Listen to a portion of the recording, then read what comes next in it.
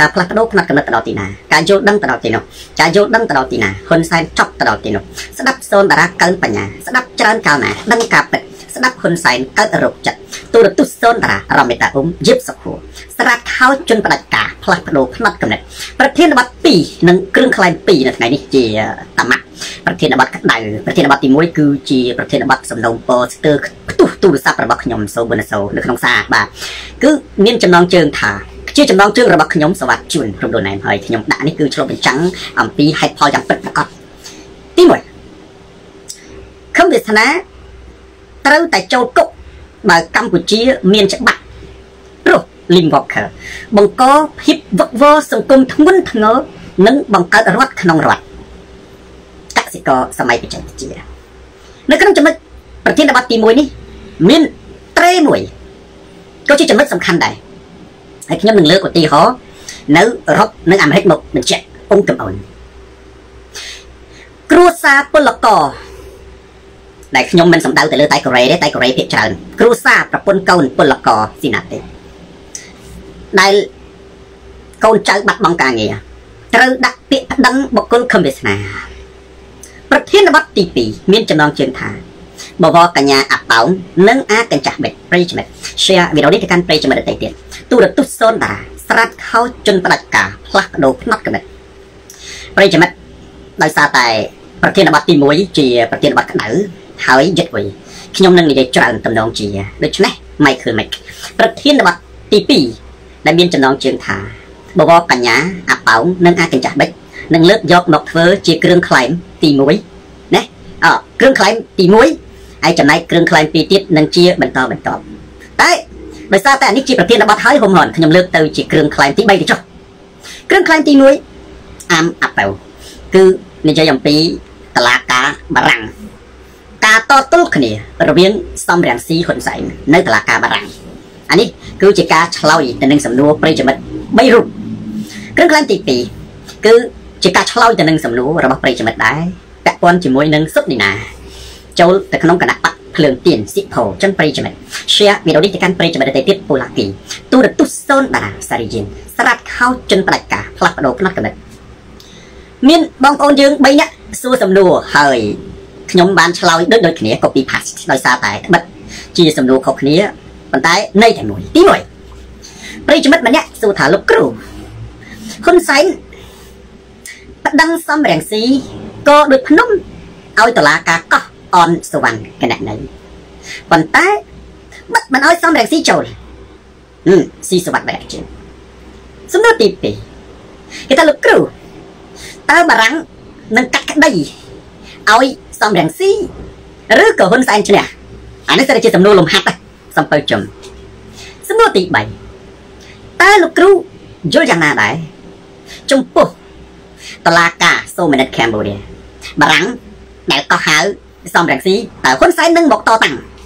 ជាមួយនឹងសំរងស៊ីនៅ ក្រុងប៉ារីជាត្រាហេដែរឬទេចម្លើយទាំងអស់សាបសុខណាដែលខ្ញុំឆ្លើយដូចគ្នានោះគឺទី1ខ្ញុំថាខុសគ្នាឆ្ងាយណាស់មួយម៉ាត់បងប្អូនយើងខ្ញុំឆ្លើយមួយម៉ាត់អញ្ចឹងទុនសុភ័ណ្ឌគាត់តែងតែដាក់សំណួរបដិញតែខ្ញុំចូលចិត្តអ្នកដែលសួរបដិញពីព្រោះសំណួរបដិញគាត់មានពេលនិយាយច្រើន នៅក្នុង Facebook អត់នៅក្នុងសារមានពេលនិយាយច្រើនមួយម៉ាត់ឲ្យគ្រប់មកខ្ញុំជាជានិយាយយ៉ាងម៉េចបើបានពាក្យមួយម៉ាត់ហ្នឹងឲ្យគ្រប់គឺគ្រប់បើយើងមិនយល់ស្រួលគាត់ថាម៉េចហេតុអីពីព្រោះអញ្ចេះប៉ាប៉ាមួយជីងតឡាការនៅស្រុកបារាំងបើកសៅវនាការកោះហៅសំរងស៊ីមានវត្តមានសំរងស៊ីទៅបំភ្លឺនៅតឡាការតឡាការហ៊ុនសែនកោះហៅសំរងស៊ីប៉ុន្តែគ្មានសំរងស៊ីលាវបុរីនៅក្នុង ណាវត្តមានសាវនាការតឡាការមិនតែប៉ុណ្ណោះ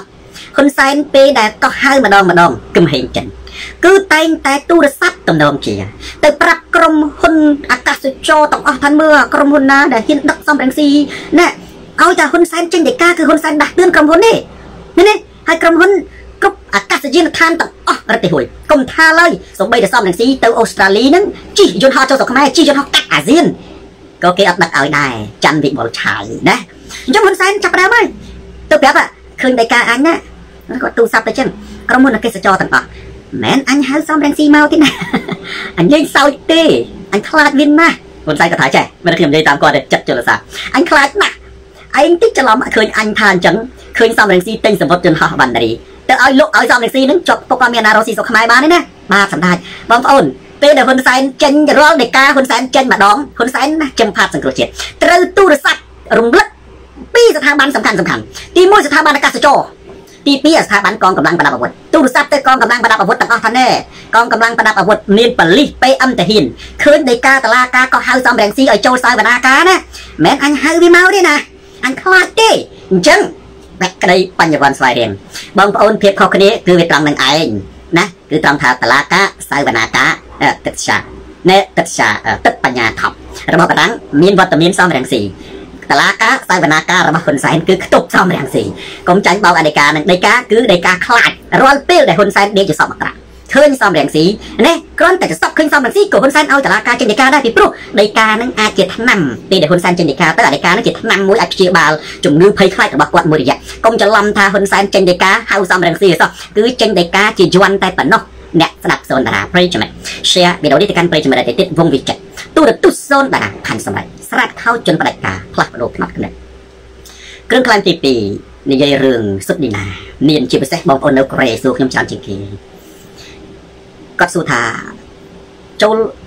ណាគណៈបកភ្លើងទៀននឹងតើលោកគ្រូយល់ដូចម្ដេចខ្ញុំថាល្អណាគេសួរថាវិលៀមតាងហេតុអីពីព្រោះសុទ្ធឌីណាធ្លាប់ជាសមាជិកមន្ត្រីជាន់ខ្ពស់របស់គណៈបកប្រជាជន ហើយនៅប្រទេសកូរ៉េណានៅណាមធ្វើបាបនេះពលករកូរ៉េខ្លាំងណាស់ដើម្បីយកចិត្តហ៊ុនសែនប៉ុន្តែដោយសារតែជួបរឿងអយុត្តិធម៌សង្គមប៉ះមកលើខ្លួនឯងត្រូវជាប់គុកអរិយទើបធ្វើឲ្យទើបធ្វើឲ្យសុទ្ធឌីណាហ្នឹងត្រឡប់នេះមករករងរស់ជាមួយនឹងគណៈបកប្រឆាំងសាវ៉ាអញ្ចឹងហេតុអ្វីបានជាលោកគ្រូយល់ថាជាការល្អបងប្អូនខ្ញុំនិយាយរឿងពីរចំណុចដូចតទៅទី1បើនិយាយអំពីសារជាតិពិតរបស់សុទ្ធឌីណា គឺមិនមែនណាម្រេចឌីចឹងជាអ្នកគ្រប់គ្រងរបបផ្ដាច់ការទេ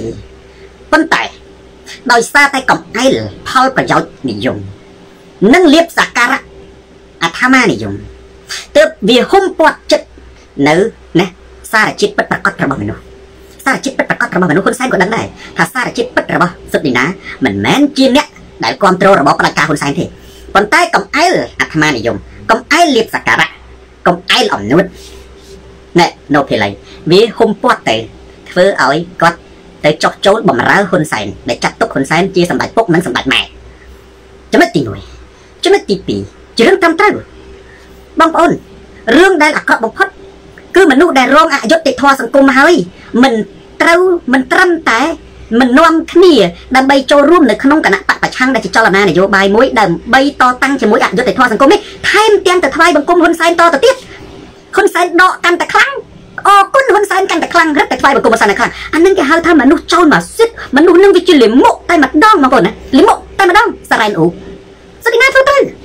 មនុស្សយើងរងអយុត្តិធម៌សង្គមត្រូវតែប្រឆាំងទៅនឹងអយុត្តិធម៌សង្គមបើទោះបីជាគាត់ជាពីមុនហ្នឹងជាមន្ត្រីទូតឬជាសមាជិករបស់គណៈបកប្រជាជនក៏ដោយបងប្អូនឥឡូវឧទាហរណ៍ថាដូចជាមែនទេញឹកប៊ុនឆៃញឹកប៊ុនឆៃហ៊ុនសែនចាប់ដាក់គុកសរសេរលិខិតអរគុណហ៊ុនសែនចេញពីក្នុងគុកហើយប្រាប់សមាជិកទាំងអស់ត្រូវជ្រកក្រោមមកលោកហ៊ុនសែន អានឹងលិមុខណាមនុស្សប្រភេទហ្នឹងយើងមិនអាចទៅទៅយកជាគ្នាបានទេមែនទេរងភាពអយុត្តិធម៌សង្គមដែលគេថាគេមិនខ្លាចទេបងប្អូនអញស្តាញគាត់និយាយថាពិភពលោកនេះនឹងមិនត្រូវបានបំផ្លាញដោយមនុស្សអាក្រក់ទេគឺត្រូវបំផ្លាញដោយមនុស្សល្អហ្នឹងវាឈប់ដៃមើលនឹងទៅលឹកជើងពួកអាក្រក់ឃើញគេធ្វើព្រឹត្តអាក្រក់ហើយមិនព្រមចាក់ចេញស្អីណាក៏ធ្វើត្រូវទោះយ៉ាងណាក៏គាត់ logic មួយតាមបែបវិទ្យាសាស្ត្រ logic មួយត្រង់ថាអយុត្តិធម៌សង្គមសូម្បីតែខ្លួនឯងក៏រងគ្រោះរឿងអីបានជាទៅថ្វាយបង្គំរបស់បដិការហ៊ុនសែនដូចជា ណាខ្ញុំនិយាយរឿងញឹកមិនឆៃមួយទៀតដូចជាម្នាក់ដែលជេរសំរងស៊ីបងរំលោះគុកហើយរវាយលោកនៅសៀមរាបនេះជាប់គុកគ្រាន់តែបញ្ចេញមតិផ្ទុយពី fresh new ជាប់គុកកាន់តែខ្លាំងទៅថ្វាយបង្គំអរគុណមិនត្រឹមតែជាប់គុកអយុត្តិធម៌ណាស់បងប្អូនទីមួយបញ្ចេញមតិគេដកចេញពីក្របខ័ណ្ឌយោធានេះអយុត្តិធម៌មួយគេដកចេញពីក្របខ័ណ្ឌយោធាហើយគ្រាន់តែបញ្ចេញមតិនៅលើ Facebook គេវាយខ្នោះអូកកយកទៅដាក់គុកចេញមកវិញមិនទាំងហ៊ានថាអយុត្តិធម៌បាត់ផង តាមពិតបើគាត់ចូលបកប្រឆាំងគាត់ខុសដែរមិនចឹងព្រោះជាព្រោះនៅក្នុងប្រទេសកម្ពុជាយើងត្រូវញែកឲ្យច្បាស់ពីចាប់ពីថ្ងៃនឹងតទៅវាមានតែណាតំសៅគណៈបកប្រឆាំងនិងគណៈបកកណ្ដាលម៉ាយបើយើងប្រឆាំងរបបផ្ដាច់ការអាចចូលតាក់ព្រំបានទេ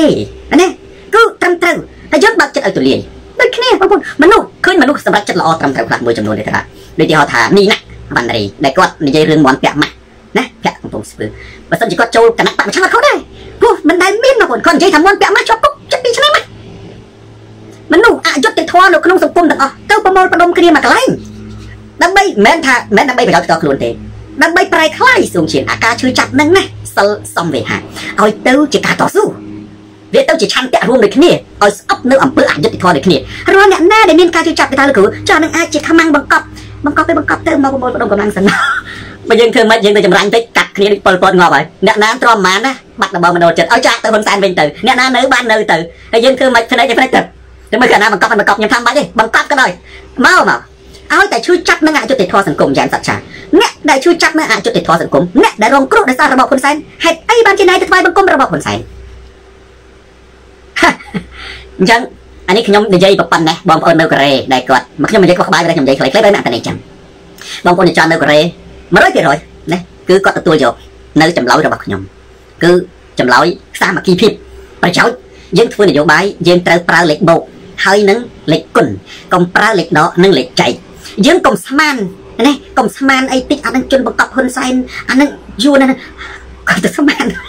ជប់ស្មានអាស្មាននឹងខំគ្នាច្រើនណាស់ឆ្លោះគ្នាហើយមនុស្សយើងមកស្មានចាំមកត្រូវវាមិនណាបើស្មានចាំមកខុសមនុស្សយើងអត់មានអីឈឺចាប់ជាងអាខ្លួនឯងល្អបរិសុទ្ធគេចោទថាគេចោទថាខ្មាំងបង្កប់របស់ហ៊ុនសែនមកគាត់ដេកយំដេកសក់ទឹកភ្នែកខ្ញុំសូនរាដែរចោទអាណាសោះអ្នកណាធ្វើសកម្មភាពប្រឆាំងរបបផ្ដាច់ការជាគ្នាខ្ញុំខ្ញុំនិយាយចេះគេថានឹងជនបង្កប់បង្កប់ក៏ដោយបើបង្កាត់របបផ្ដាច់ការគ្នាខ្ញុំនេះ យកហ៊ុនសែនប្រើគ្នាយើងបានមកកកោកឧទាហរណ៍តែចេះហ៊ុនសែនគណៈបកសង្គ្រោះជាតិចាក់ផ្សេងគាត់នេះអ្នកខ្លះស្មោះស្ម័គ្រជេរហ៊ុនសែនឬអាចរៀននោះមកហ៊ុនសែនក៏អត់មានទឹកខឹងអីផងគាត់ចូលទៅប្រើមកខំយើងហើយយើងប្រើមនុស្សហ៊ុនសែនវិញបានឧទាហរណ៍បើអ្នកនឹងជាមនុស្សហ៊ុនសែនមកយើងប្រើវិញមើលអីក៏ខ្លាំងឯទៅហ៊ុនសែនហើយយើងក៏អន់ដែរយើងមកខ្លាំងស្មើហ៊ុនសែនមើលដើម្បីប្រកួតជាមួយហ៊ុនសែនបានក៏តែយើងស្មើហ៊ុនសែនឬខ្លាំងជាង បើយើងអន់ជាងសំបីតែមនុស្សហ៊ុនសែនជាងប្រើមិនបានផងគឺយើងប្រកួតជាមួយហ៊ុនសែនឬអីអញ្ចឹងបានខ្ញុំថាចេះបាច់ចាប់ពីថ្ងៃនេះតទៅអត់បាច់មានជនបង្កប់ទេអ្នកណាដែលលើកទង់ចេញមុខរួមកម្លាំងជាមួយនឹងគណៈបកប្រឆាំងដើម្បីប្រកួតប្រជែងណាយកឈ្នះគណៈបកកណ្ដាលអានឹងជាគ្នាខ្ញុំចង់ពេលបោះឆ្នោតអ្នកឯងទៅបោះឲ្យអ្នកណាក៏បោះទៅតែសំខាន់សកម្មភាពរបស់អ្នកឯងកើនកម្លាំងចប់គឺថានឹងជនបង្កប់អ្នកថានឹងយកមកចូលទៅដេញមកអ្នកថានឹងទៅមិនបាច់ទេបងប្អូនចាប់ថ្ងៃនេះតទៅមិនបាច់ទេណាកុំទៅអង្គុយសង្ស័យគ្នាអត់ប្រយោជន៍ចាស់ណា អានឹងអង្គុយសង្ស័យគ្នាអត់ប្រយោជន៍ចាស់សោះអញ្ចឹងករណីសុទ្ធឌីណាគាត់ធ្វើរឿងត្រឹមត្រូវគាត់រងអយុត្តិធម៌សង្គមគាត់ជួយចាប់រឿងអីបានជាគាត់ត្រូវទៅថ្វាយបង្គំហ៊ុនសែនហើយអ្នកដតីទៀតមែនទេបោកទាំងអ្នកជេរសំរងស៊ីបងរំលោះគុកផងខ្លួនឯងត្រូវបានគេដកក្របខ័ណ្ឌចេញពីយោធាខ្លួនឯងក៏នឹងនិយាយជាមួយ Facebook ឆ្លុះមិនឆ្លុះទេត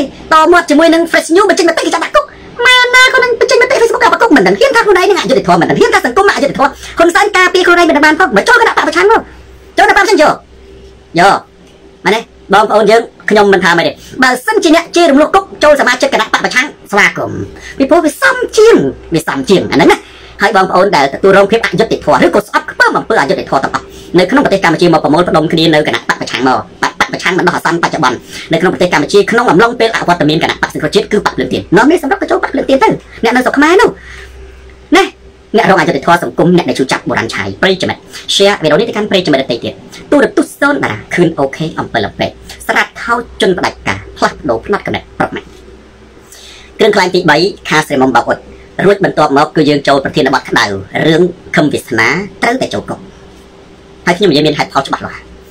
ហើយខ្ញុំក៏ស្រាត់ខោហ៊ុនសែនខ្ញុំនិយាយរឿងខឹមវាសនាគឺខ្ញុំស្រាត់ខោហ៊ុនសែនទេហើយនេះបានខឹមវាសនាចូលកុកទុកជាសំណួរមួយឲ្យបងប្អូនឆ្ងល់វិញប៉ុន្តែឥឡូវ ណាដោយសារតែប្រធានបទនេះអាចនិយាយវែងហើយខ្ញុំនិយាយលក្ខណៈវិទ្យាសាស្ត្រច្រើនថ្ងៃនេះព្រោះមានបងប្អូនយើងគាត់សួរខ្ញុំគាត់យកចំណុចសំខាន់សំខាន់មកខ្ញុំនិយាយរឿងបវរកញ្ញាអប៉ោងឈឹមសុធានិងបវរបវរកញ្ញាអប៉ោងនិងបវរកញ្ញាអាកចាស់បិចបងប្អូនយើងមួយចំនួនគាត់អានយល់បងប្អូនមិនមួយចំនួនទេតែជាមានម្នាក់ខ្ញុំខ្ញុំដល់ទៅពេលគេមិនយល់ខ្ញុំសើចវិញបងប្អូនណាអ្នកយល់រឿងធម្មតាភាពឈាមខ្ញុំសើចអ្នកសួរណារ៉ាហ៊ានក៏រ៉ាហ៊ានក៏មិនសួរទេក៏ផ្ញើសារសួរខ្ញុំតែខ្ញុំអត់ឆ្លើយលើតើខ្ញុំសើចណា ខ្ញុំថាអេខ្ញុំមិនមិនឆ្លើយទេគីសិនខ្ញុំថាខ្ញុំនឹងលើកយកមកនិយាយនៅក្នុងការផ្សាយផ្ទាល់ហុកលីខ្ញុំនិយាយប្រហែលណាបើគាត់ចូលមើលត្រូវតែចូលមើលតែមួយណាខ្លះបើឥឡូវអ្នកបើកឆាកមកអ្នកមើល 4K ចុច2ទៅហើយអញ្ចឹងបងប្អូនណាគាត់សួរតែលោកគ្រូពីណាគេអាចកញ្ចាស់បិចហ្នឹងឥឡូវទេតិចបងប្អូននេះអត់យល់ដែរសង្សង្ស័យបងប្អូនអត់ស្គាល់បវរកញ្ញាអាកញ្ចាស់បិចអាកញ្ចាស់បិចនេះស្អីគេបងប្អូនណាសួរតិចមើលបវរកញ្ញាប៉ោងអីគេបវរកញ្ញាប៉ោងចុងចាអើយ ខ្ញុំអ្នកនៅអឺរ៉ុបមកបងណាស្រុកអឺរ៉ុបនេះគឺថាវាយីនេះបបអាយអើនិយាយថាម៉េចឥឡូវគាត់ទៅសួរបងប្អូនទេអានឹងនិយាយថាគ្រឿងខ្លែងទៅចុះ6លីអាសួងសិឈិនបងប្អូនស្គាល់អត់ស្គាល់បវរកញ្ញាបងប្អូនស្មានខ្ញុំជេរតែមិនមែនជេរទេណាអានឹងឈ្មោះអញ្ចឹងមកណាសសាន់សវណ្ណបវរកញ្ញាអាកាចាស់បិចស្អីគេអាកាចាស់បិចណាឥឡូវខ្ញុំសួរចិនចិនដាទៅអអ្នកណាឆ្លើយអាម៉ាត់ទៅឈប់អាធីវិចិត្រស្អីគេអាកាចាស់បិចហ្នឹង បែបណាជាងវិធីជាងវិធី100បន្ទុកប៉ុស្តុចណាប៉ុស្តូចបាទលីមេងគីមអត់ទាន់ឃើញឆ្លើយរចនាសំសវ៉ាសង្វាដាក់ បាទតាញញឹម100បន្ទុកសម្ផស្សលៀងអា friendly friendly ចាន់វែងវែងពេកបាទរ៉ាត់ដារ៉ាត់បាទ100បន្ទុកកាចាស់បិចបៀវាមិនមានកំមុំកំមុំកើកំមុំបិចនេះអាកាចាស់កាចាស់នេះគេមិនហៅអាកាចាស់មិនចាំបងប្អូនអ្នកលេងបៀខ្លះគេហៅកាចាស់ខ្លះហៅអាពីមុខណាលេងសៀកមកកតឹបគេហៅអាកតឹបហ្មងដាក់អាកតឹប នេះលេងអាកាចាស់បិចកូនវាអាកាចាស់កើឯងអាកាចាស់ជួងអាកាចាស់ក្រោនេះអញ្ចឹងបងប្អូនមួយឥឡូវគេផ្អើលរឿងដល់ថាបង្ហាញម៉ូតហាណាហ្វីអីណាផ្សេងផ្សេងអានេះខ្ញុំសូមមិននិយាយប៉ុន្តែចេះអ្វីដែលខ្ញុំលើកយករឿងដែលបវរកញ្ញាអាប៉ោងនិងបវរកញ្ញាកាចាស់អាកាចាស់បិចហ្នឹងណាអាប៉ោងខាំរិនជើនឹងអាកាចាស់បិចហ្នឹងណាដោយសារតែវាចម្លែកមកបងតែពិតទៅអានឹងបើសិនជាគេប្រកួតនៅក្នុងកាស៊ីណូត្រូវ ព្រោះអានឹងគេតាក់ទាញអតិថិជននៅក្នុងកាស៊ីណូប៉ុន្តែអានឹងជារឿងឯកជនមិនមែនជាតំណាងឲ្យជាតិទលំទលាយទេធម្មតាកាស៊ីណូគឺជាកន្លែងណាដែលគេលេងល្បែងដែលគេលេងល្បែងណាបាទអញ្ចឹងពេលដែលយើងចូលទៅកាស៊ីណូគេតាំងពីពណ៌ល្បែងមានស្រីស្រីស្អាតអីអត់ខុសទេកន្លែងលក់ឡានគេតាំងពីពណ៌ឡានមានស្រីស្រីស្រាតនៅនៅឡាននេះអាហ្នឹងអត់ខុសទេបាទនេះអូកន្លែងលក់ទូរស័ព្ទអាហ្នឹងគឺវាអញ្ចឹងប៉ុន្តែនេះដូចជាមិនមែននៅក្នុងកាស៊ីណូទេហើ យវាលើគេថាតំណាងឲ្យប្រទេសជាតិទៅទៀតអានេះចំណុចទី1ដែលយើងគួរតែប្រតិកម្មបងប្អូនខ្ញុំសូមមិនប្រតិកម្មរឿងបុគ្គលទេប៉ុន្តែប្រតិកម្មរឿងដែលជាប្រយោជន៍ជាតិនិងប្រយោជន៍សង្គមតន្ត្រីរស្មីសេកមីណាទី1ទី2ខ្ញុំនិយាយបាញ់បាញ់ហើយខ្ញុំនៅអឺរ៉ុបបងប្អូនសមណាស់តែវប្បធម៌អឺរ៉ុបដែលជាវប្បធម៌សេរីភាពខ្ញុំមិនហ៊ាននិយាយខ្ញុំមិនហៅទេ ខ្ញុំមិនហៅថាវប្បធម៌សេអាឡែអាឡែតែនៅអឺរ៉ុបគេចាត់ទុកសេរីភាពសិទ្ធិស្មើគ្នាមកកៅរវាងណាបុរសនិងស្ត្រីគេឲ្យសិទ្ធិស្មើគ្នាមានន័យថាបុរសនិងស្ត្រីក៏ដូចគ្នាបុរសអាចចូលក្លឹបអាចទៅមុខទឹកអីថាថាអញ្ចឹងក៏ដូចគ្នាអាមេរិកគេដូចគ្នាណាប៉ុន្តែវាចេះសំណាស់តែអឺរ៉ុបនិងអាមេរិកដែរ Digo Summit នេះមកដែលមានវប្បធម៌សេរីធូររលុងម្នាក់ទៅធ្វើរឿងប្រទេសច្បាស់មិនគួរណាខ្មែរយើងដែលមានវប្បធម៌ល្អផូរផង់បងប្អូន ទៅជាធ្វើរឿងប្រទេសផ្ដាស់ជាងអាវប្បធម៌រញ៉េរញ៉ៃទៅទៀតនៅរញ៉េរញ៉ៃនៅស្រុកអឺរ៉ុបមានតែមាននៅស្រុកអឺរ៉ុបសបោមានសួនស្រាតណាមានមានកន្លែងសមុទ្រស្រាតប៉ុន្តែគេមិនមែនល្ងីល្ងើណាគេស្អិតមានហេតុផលរបស់គេដោយសារពួកនឹងហៅពួកធម្មជាតិនិយមពួកនឹងពួកធម្មជាតិនិយមវាគ្រប់គ្រងចឹងដូចវាមានអតិពលមកពីសាសនានៅឥណ្ឌាគឺសាសនាចៃលបងប្អូននៅអឺរ៉ុបនេះណានៅពិភពលោកឥណ្ឌាវប្បធម៌ឥណ្ឌាក៏ដឹងណាគេនិយាយវប្បធម៌ឥណ្ឌាជាអតិពលពិភពលោកជាពិសេសស្រាតខ្ញុំនិយាយពិត អានឹងគឺមានអតិពលមកពីសាសនាអចែលហើយគេមានទស្សនៈមាន philosophy របស់គេណាមានគំនិតទស្សនៈរបស់គេត្រឹមត្រូវដែលនៅក្នុងស្រុកអឺរ៉ុបនេះគេហៅឈ្មោះពួកនឹងថាពួកធម្មជាតិនិយមសកុនធីរីពួកធម្មជាតិនិយមហើយពួកនឹងមានទីតាំងរបស់វាអត់តែពីតែពីតាម Facebook ណាថតបានគេប៉ណ្ណឹងណាអត់យកមកផ្សាយណាតំណាងឲ្យជាតិទេអានឹងស្រាប់អត់មានតំណាងឲ្យជាតិទេនៅស្រុកបារាំងមានតែមិនតំណាងឲ្យជាតិតំណាងឲ្យជាតិបារាំងគឺ ទូអ៊ីហ្វែលអញ្ចឹងទៅតំណាងឲ្យជាតិខ្មែរគឺប្រាសាទអង្គរវត្តប្រាសាទព្រះវិហារសមុទ្រអានេះព្រៃភ្នំភ្នំអីចឹងទៅធម្មជាតិទឹកជ្រោះអញ្ចឹងទៅពូឡាគីតែមិនក៏ចឹងដែរបងអត់អត់ខ្ញុំអត់ដឹងថាគេគិតអីរាល់ថ្ងៃនេះអាមិនបានទៅជាឈួតអស់លីចឹងអញដល់តែចឹងទៅមិនដឹងថាយ៉ាងណាហេខ្ញុំថាបើអានឹងកើតនៅអឺរ៉ុបដូចជាអត់អីទេព្រោះវប្បធម៌គេវាអញ្ចឹងណាតែអានេះអត់ទេទៅស្រែកអាយអាយោអាឡូអាឡាដូចគេជេរបចោគ្នាអាម៉េចបងប្អូនតែតែតែខ្ញុំសើចជុំមិញគេកាត់អាវីដេអូខ្លីៗហ្នឹងមកគេនាំនេះស្អែកដាក់មីក្រូខ្ញុំមើលប្រហែលដងខ្ញុំនៅតែសើចណា វារកអាកន្លែងស្រឡាញ់បាត់ឃើញវារកកន្លែងស្រឡាញ់បាត់ឃើញគេទៅជារឿងសោចវិញមកទៅសេអាឡេរីទៅឈុតទៅវិញមកមិនតែស្អីទៅវិញអឺយើងថាអញ្ចឹងទៅចុះព្រោះអត់មានប្រយោជន៍តែពិតពាក្យបវរកញ្ញាខ្ញុំនិយាយតែនេះតិចចុះទីមួយពាក្យបវរមានន័យថាប្រសើរមកណាកញ្ញាមានន័យថាកញ្ញាគឺស្ត្រីនារីដែលអត់មានប្តីអញ្ចឹងបវរកញ្ញាយើងអាចបកនិយាយថាកញ្ញានារីដ៏ប្រសើរនារីដ៏បវរនារីដ៏ល្អអស្ចារ្យល្អអស្ចារ្យនៅសប្រាំងគេធ្វើត្រូវរបស់គេថា នេះបងប្អូនកញ្ញាគឺសិតតា master បងនៅបារាំងខ្ញុំមើលឆ្នាំតែមិញនៅខែដូចជាខែ12ខែ12ការប្រកួតហ្នឹងជាប់ប៉ារីណាក្រុមខ្ញុំដូចធ្លាក់នៅវគ្គជុំទី3ក្រុមខ្ញុំរស់នៅនេះបងប្អូនកញ្ញានៅប៉ារីគឺជាប់ Ile de France មែនទេគឺមិននៅក្រុងប៉ារីចំឯងមកពី Ile de France មែនទេហើយគឺបារាំងវាយកមកពីគ្រប់តំបន់ទាំងអស់ហើយគេសិតប្រឡំចំណេះដឹងបងវាន័យថាបវរកញ្ញាប្រសើរប្រសើរនឹងប្រសើរតាំងអតចរិតចំណេះដឹងរូបសម្រស់ វាត្រូវបានទាំងអស់យើងអត់ផងដូចជាប្រឡងស្រែកតើដូចជាប្រឡងស្រែកប្រឡងថតលីអូយ៉ាងទៅមែនទេប្រឡងទៅប្រឡងចេញបៀចេញអាប៉ោងឯណានោះវិញវាអត់ជាវាអត់លក្ខណៈបវរវាអត់លក្ខណៈប្រសើរវាអត់លក្ខណៈខ្លាខ្លាយវាទៅជាលក្ខណៈសេឡែទៅវិញអញ្ចឹងខ្ញុំថាអេបបធរហ្នឹងវាសំកើតដូចសុកបារាំងវាទៅបារាំងវាមានបបធរអញ្ចឹងមែនទេបារាំងវាមានបបធរសេឡែបើខ្មែរយើងបើមានបបធរហ្នឹងរងបងកញ្ញាព្រោះធ្វើឲ្យថ្លៃធ្នូតិចទៅវិញណាមួយចំណុចទី2ចំណុចទី3 ខ្ញុំធ្លាប់និយាយម្ដងហើយរឿងទស្សនៈបវរកញ្ញាហ្នឹងបើសម្រាប់ខ្ញុំលើโลกនេះគ្មានទេស្រីស្អាតអាហ្នឹងបងប្អូនតាមខ្ញុំក៏បានបើតាមក៏បានដែរ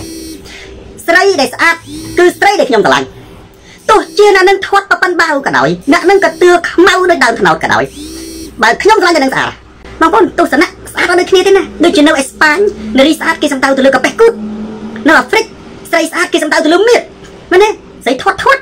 កលិកកលិកដើរទៅដើរចង់រួចទេណាហានៅអាស៊ីស្រីស្អាតគេសំដៅទៅលើមុខនៅអឺរ៉ុបស្រីស្អាតគេសំដៅទៅលើរៀងហ្នឹងដើមទ្រូងឧទាហរណ៍អញ្ចឹងអញ្ចឹងវាអត់មានអីកំណត់ទេបើសម្រាប់ខ្ញុំខ្ញុំជឿខ្ញុំដែរបងប្អូនគ្មានអ្នកណាស្អាតជាងគូស្នេហ៍របស់យើងទេប្រពន្ធយើងគឺស្អាតអស្ចារ្យហើយសង្សារយើងគឺស្អាតអស្ចារ្យហើយហើយបើខ្ញុំថាអញ្ចេះនារីរតបច្ចុប្បន្នបើពីដើមប្រឡងបងកញ្ញាអាចត្រូវមែនព្រោះពួកគេប្រឡងសម្រាប់ឥឡូវ ប្រឡងមិនប្រឡងសម្រាប់ទេអានេះគឺប្រឡងនេះតើដូចជាប្រឡងដែលស្រែកអាលេអាឡូដូចប្រឡងស្រែកមួយមួយមួយមួយទៀតដូចប្រឡងតុកតែងទេតាមបងប្អូនមនុស្សស្អាតណាស់ចិនដាពៅតើកុំតែងអានេះជាទស្សនៈរបស់ខ្ញុំមនុស្សបតែងអានេះងាប់ហើយអ្នកអត់ស្អាតទៅស្អាតបានទេទី1វាតែងទី2ដើរនឹងភ្លើងពណ៌បាញ់ឲ្យឆ្វាច់វាលែងពិតណាអញ្ចឹងបើយើងនិយាយថាប្រកួតការតុបតែងផាត់មុខត្រូវប្រកួតផាត់មុខប្រកួតម៉ូដកៅអៅប្រកួតការតុបតែងអានេះត្រូវ ប៉ុន្តែបើថាប្រកួតបវរកញ្ញាបវរកញ្ញាទោះតែប្រកួតពេលថ្ងៃបាទណាអូណែកុំបាញ់ភ្លើងពណ៌ភ្លើងធម្មតាអំពូលម៉ៃឲ្យកលេសទៅបញ្ជួយតាណាតានឹងស្លៀកពាក់សាមញ្ញកដៀតក្អមអីចឹងទៅបើស្លៀកខ្លីឲ្យខ្លីសាមញ្ញកុំផាត់មុខចងសក់សិតសក់ឲ្យស្អាតបានបែបទៅទៀតទៅសិតសក់ឲ្យស្អាតកុំផាត់មុខផាត់លាបតិចតួចលាបគ្រីមលាបអីចៅមិនតិចតួចលេងចាញ់មកឲ្យដូចតួហ៊ីហើយតើអ្នកណាស្អាតពិតប្រាកដ អ្នកស្អាតពិតប្រាកដអត់មានអ្នកណាជាងប្រពន្ធរបស់យើងឬសង្សាររបស់យើងទេជឿខ្ញុំទៅគុំទៅផ្អើលអានេះពាណិជ្ជកម្មគេបច្ឆោតទេហើយបងប្អូនណានៅនៅលើពិភពលោកណាមិនមែនមានន័យថាបបរកញ្ញានឹងស្អាតជាងគេទេដោយសារអ្នកនឹងហ៊ានទៅប្រឡងអ្នកដែលស្អាតខ្វះអីប្រពន្ធយើងជួនកាលស្អាតជាងបបរកញ្ញា10ដងគាត់ក៏បានទៅប្រឡងគាត់គេអត់អួតគេចេញមុខអួតគេចេញមុខអួតស្អីអូន គ្មានអ្នកណាស្អាតជាងប្រពន្ធនិងសង្សារយើងទេបវរកញ្ញាគ្រាន់តែជាអាជីវកម្មផ្សាយពាណិជ្ជកម្មផលិតផលដើម្បីគេធ្វើអីមួយទេអានេះសម្រាប់ខ្ញុំទេណាប៉ុន្តែខ្ញុំមិនមានចំទាស់ទេអ្នកណាតែគ្រប់ត្រូវអីគ្រប់ត្រូវប៉ុន្តែបើសម្រាប់សូនតារាបើប្រកួតបវរកញ្ញាតើតែកុំផាត់មុខអានេះវាលែងធម្មជាតិរបស់ស្អាតមនុស្សស្អាតមិនឲ្យប្រកួតយកសម្រាប់ឬក៏ប្រកួតណាការតុបតែងខ្លួន បើតុបតែងខ្លួនផងបាញ់ភ្លើងផងហើយមើលពីចម្ងាយថតផងមើលមុខឡើងលេងទៅជាមនុស្សពិតទៅជួនកាលមនុស្សដែលយើងស្គាល់ហ្នឹងទៅឡំបកញ្ញាយើងកន្លែងទៅមើលមុខស្គាល់ផងមិនចឹងហើយវាផាត់គូអស់លេងហើយអញ្ចឹងបានជាទស្សនៈសូនរាគឺថានៅលើโลกនេះសម្រាប់ខ្ញុំគ្មានទេស្រីស្អាតមនុស្សនារីដែលខ្ញុំស្រឡាញ់គឺជានារីដែលស្អាតជាងគេបំផុតនៅលើផែនដីប្រិយមិត្ត share វីដេអូនេះទៅកាន់ប្រិយមិត្តដទៃទៀតស្រីរតសៀមរាបអ្នកស្រែទូរទស្សន៍សូនតារាស្រាតខោជន់ផ្ដាច់ការបុរាណឆាយផ្លាស់ប្ដូរផ្នត់កំណត់ ឈួតឈួតតែមិនទៅយូរយូរទៅវាទៅជាសែលែមិនទេអានឹងជាអតិពលវប្បធម៌ខ្មែរយើងហ្នឹងណាហើយធ្វើអញ្ចឹងរកវិស័យអលែគេហៅចេះគេអត់ចង់ទៅមើលអាសែលែនេះទេគេចង់ទៅមើលអ្វីដែលថ្លៃចាស់អើបើថាអាមេរិកទៅវាតំណងបារាំងទៅវាតំណងមកបោកពីបើថាខ្មែរយើងមានឱកាសបង្ហាញសម្រាប់ស្រីស្អាត គួរតែមានឱកាសបើកដើម្បីតាក់ទាញទេសចរបង្ហាញអ្វីអ្វីមួយមានសក្តានុពលពិភពលោកស្គាល់ដើម្បីស្រូបយកឲ្យមនុស្សស្គាល់ពិភពលោកដល់យូរយូរទៅឲ្យមនុស្សស្គាល់លីអូណានោះទៅវិញអាហ្នឹងហើយចុះអាហ្នឹងឈុតហៅទឹកស្លៀកបានគាត់ថាគោលបំណងពិតប្រាកដអាហ្នឹងវាគាត់តែស្លៀកទេមិនមែនជាទិសដៅសម្រាប់ដែលទេសចរទេប្រធានបទទី1ក្តៅជីវិតថ្មីប្រិយមិត្តណា share វីដេអូនេះទៅកាន់ប្រិយមិត្តទៅទៀតរដ្ឋីអុកឡង់ទូរទស្សន៍សូនបាស្រាតខោជន់បដិការផ្លាស់ប្ដូរផ្នត់កំណត់ខ្ញុំវាសនា ត្រូវតែចូលគុកបើកម្ពុជាមានច្បាប់អានេះគឺជាប្រធានបទសំខាន់ខ្ញុំនិយាយចំចឹងមកខ្ញុំកម្រនិយាយឈ្មោះខ្ញុំវាសនាចំប៉ុន្តែវាហួសហេតុពេកជាបុគ្គលមួយដែលបង្កភាពវឹកវរមហន្តរាយសង្គមប៉ុន្តែបែរជាអត់មានវិធានការអីសោះវាគឺជារឿងមួយណាអយុត្តិធម៌ណាតស៊ូកូនខ្មែរសុធារីលេងអញ្ចឹងខ្ញុំនឹងប្រាប់ហេតុផលបងប្អូនថាហេតុអ្វី បានជាខឹមវាសនាបើកម្ពុជាមានច្បាប់ត្រូវតែចូលគុកមិនមែនជាការបញ្ចេញមតិទេ ជាការញុះញង់បង្កភាពវឹកវរនេះអញ្ចឹងបងប្អូនទី1ខ្ញុំនិយាយរឿងផ្លូវច្បាប់ទៅចុះផ្លូវច្បាប់ណាពីបទញុះញង់និងបង្កើតរដ្ឋក្នុងរដ្ឋបន្តមកទៀតខ្ញុំនឹងនិយាយបកស្រាយទស្សនៈរបស់កម្មវិធីហើយកុលាបសនរណាដែលស្ដាប់សូនតារាត្រូវបានសង្គ្រោះបានខាង ព្រោះស្ដាប់ខ្ញុំបានបុណ្យបងប្អូនស្ដាប់សូនតារាបានបុណ្យណាអត់ឲ្យមនុស្សធ្លាក់រំដៅទេគឺត្រូវបានសង្គ្រោះជួយមនុស្សអ្នកអញ្ចឹងណាបានជាខំវាសនាបងប្អូនខ្ញុំថ្ងៃនេះខ្ញុំនិយាយឈ្មោះចំហាមកូនចៅទាំងអស់មិនឲ្យស្ដាប់សូនតារាទេខ្ញុំដឹងដោយសារមានអ្នកចេញគេឲ្យតែអ្នកចេញពីក្រុមវាសនាមានច្រើនណាស់រាប់រយរាប់ពាន់ក៏អ្នកចូលមួយគេប្រកាសនេះទៅព្រោះអ្នកចេញគេច្រើនបើអ្នកចេញមិនច្រើនវាសម្លេងឆ្នោតអ្នកគ្រប់គ្រងកើនរកមកទល់មេពេលនេះវាមិនមែននៅរសូនទេមែនទេម៉ាក់លាក់ស៊ីងកលលេងពេងស គេប្រាប់ខ្ញុំចឹងបងគេថាបတ်បញ្ជាដាច់ខាត់របស់ក្រុមវាសនាគឺថាមិនឲ្យស្ដាប់សូនតារាបងប្អូនឆ្ងល់ហេតុអីបានជាក្រុមវាសនាក្នុងចំណោមនឹងដែរស្ដាប់តារាក៏បានដែររហូតដល់ជាអត់ហាមរឿងស្ដាប់ដែលបដិជគុណសានសុជានិងបដិជគុណគូសភាពអត់ហាមវិញប៉ុន្តែរឿងសូនតារានេះមួយដាច់ខាត់គឺក្រុមវាសនាហាមហ្មងហាមមិនឲ្យស្ដាប់ហ្មងហេតុអីបងប្អូនឆ្នាំមនុស្សដែលស្ដាប់សូនតារាសង្គ្រោះត្រូវបានសង្គ្រោះដោយ3ហេតុដោយ3យ៉ាងទី1ហេតុផលទី2សច្ចធម៌ logic 3នេះ ហេតុផលសច្ចធម៌ logic ឲ្យតែមនុស្សមិនខួរក្បាលនេះមិនខួរក្បាលដែលគោលមានការពិចារណាបន្តិចកុំខ្ទប់តិចកុំស្ដាប់តាមបញ្ជាលួចស្ដាប់ក៏បានដែរលួចស្ដាប់សន្តារាក៏បានប៉ុនដែរប្រូឌុកនេះសង្គ្រោះដូច្នេះគេប្រាប់ខ្ញុំគ្រប់គ្នាមកឥឡូវបងប្អូនដឹងមូលហេតុហើយថាអីពីព្រោះបើកណាស្ដាប់សន្តារាទៅកូនចៅជួងនឹងវាសង្គ្រោះបើសង្គ្រោះណាព្រំញីបោកមិនបានឥឡូវខ្ញុំយកអំពីច្បាប់បន្តិចណែថាហេតុអី បានជាកម្មវិសាត្រូវជាប់គុកខ្ញុំនិយាយអំពីករណីនៅកម្ពុជាទៀតចុះនឹងបន្ទាប់មកទៀតចំណុចទី2ពូសវណ្ណាខ្ញុំនឹងនិយាយករណីនៅជុំវិញពិភពលោកសំទុះប្រិយមិត្ត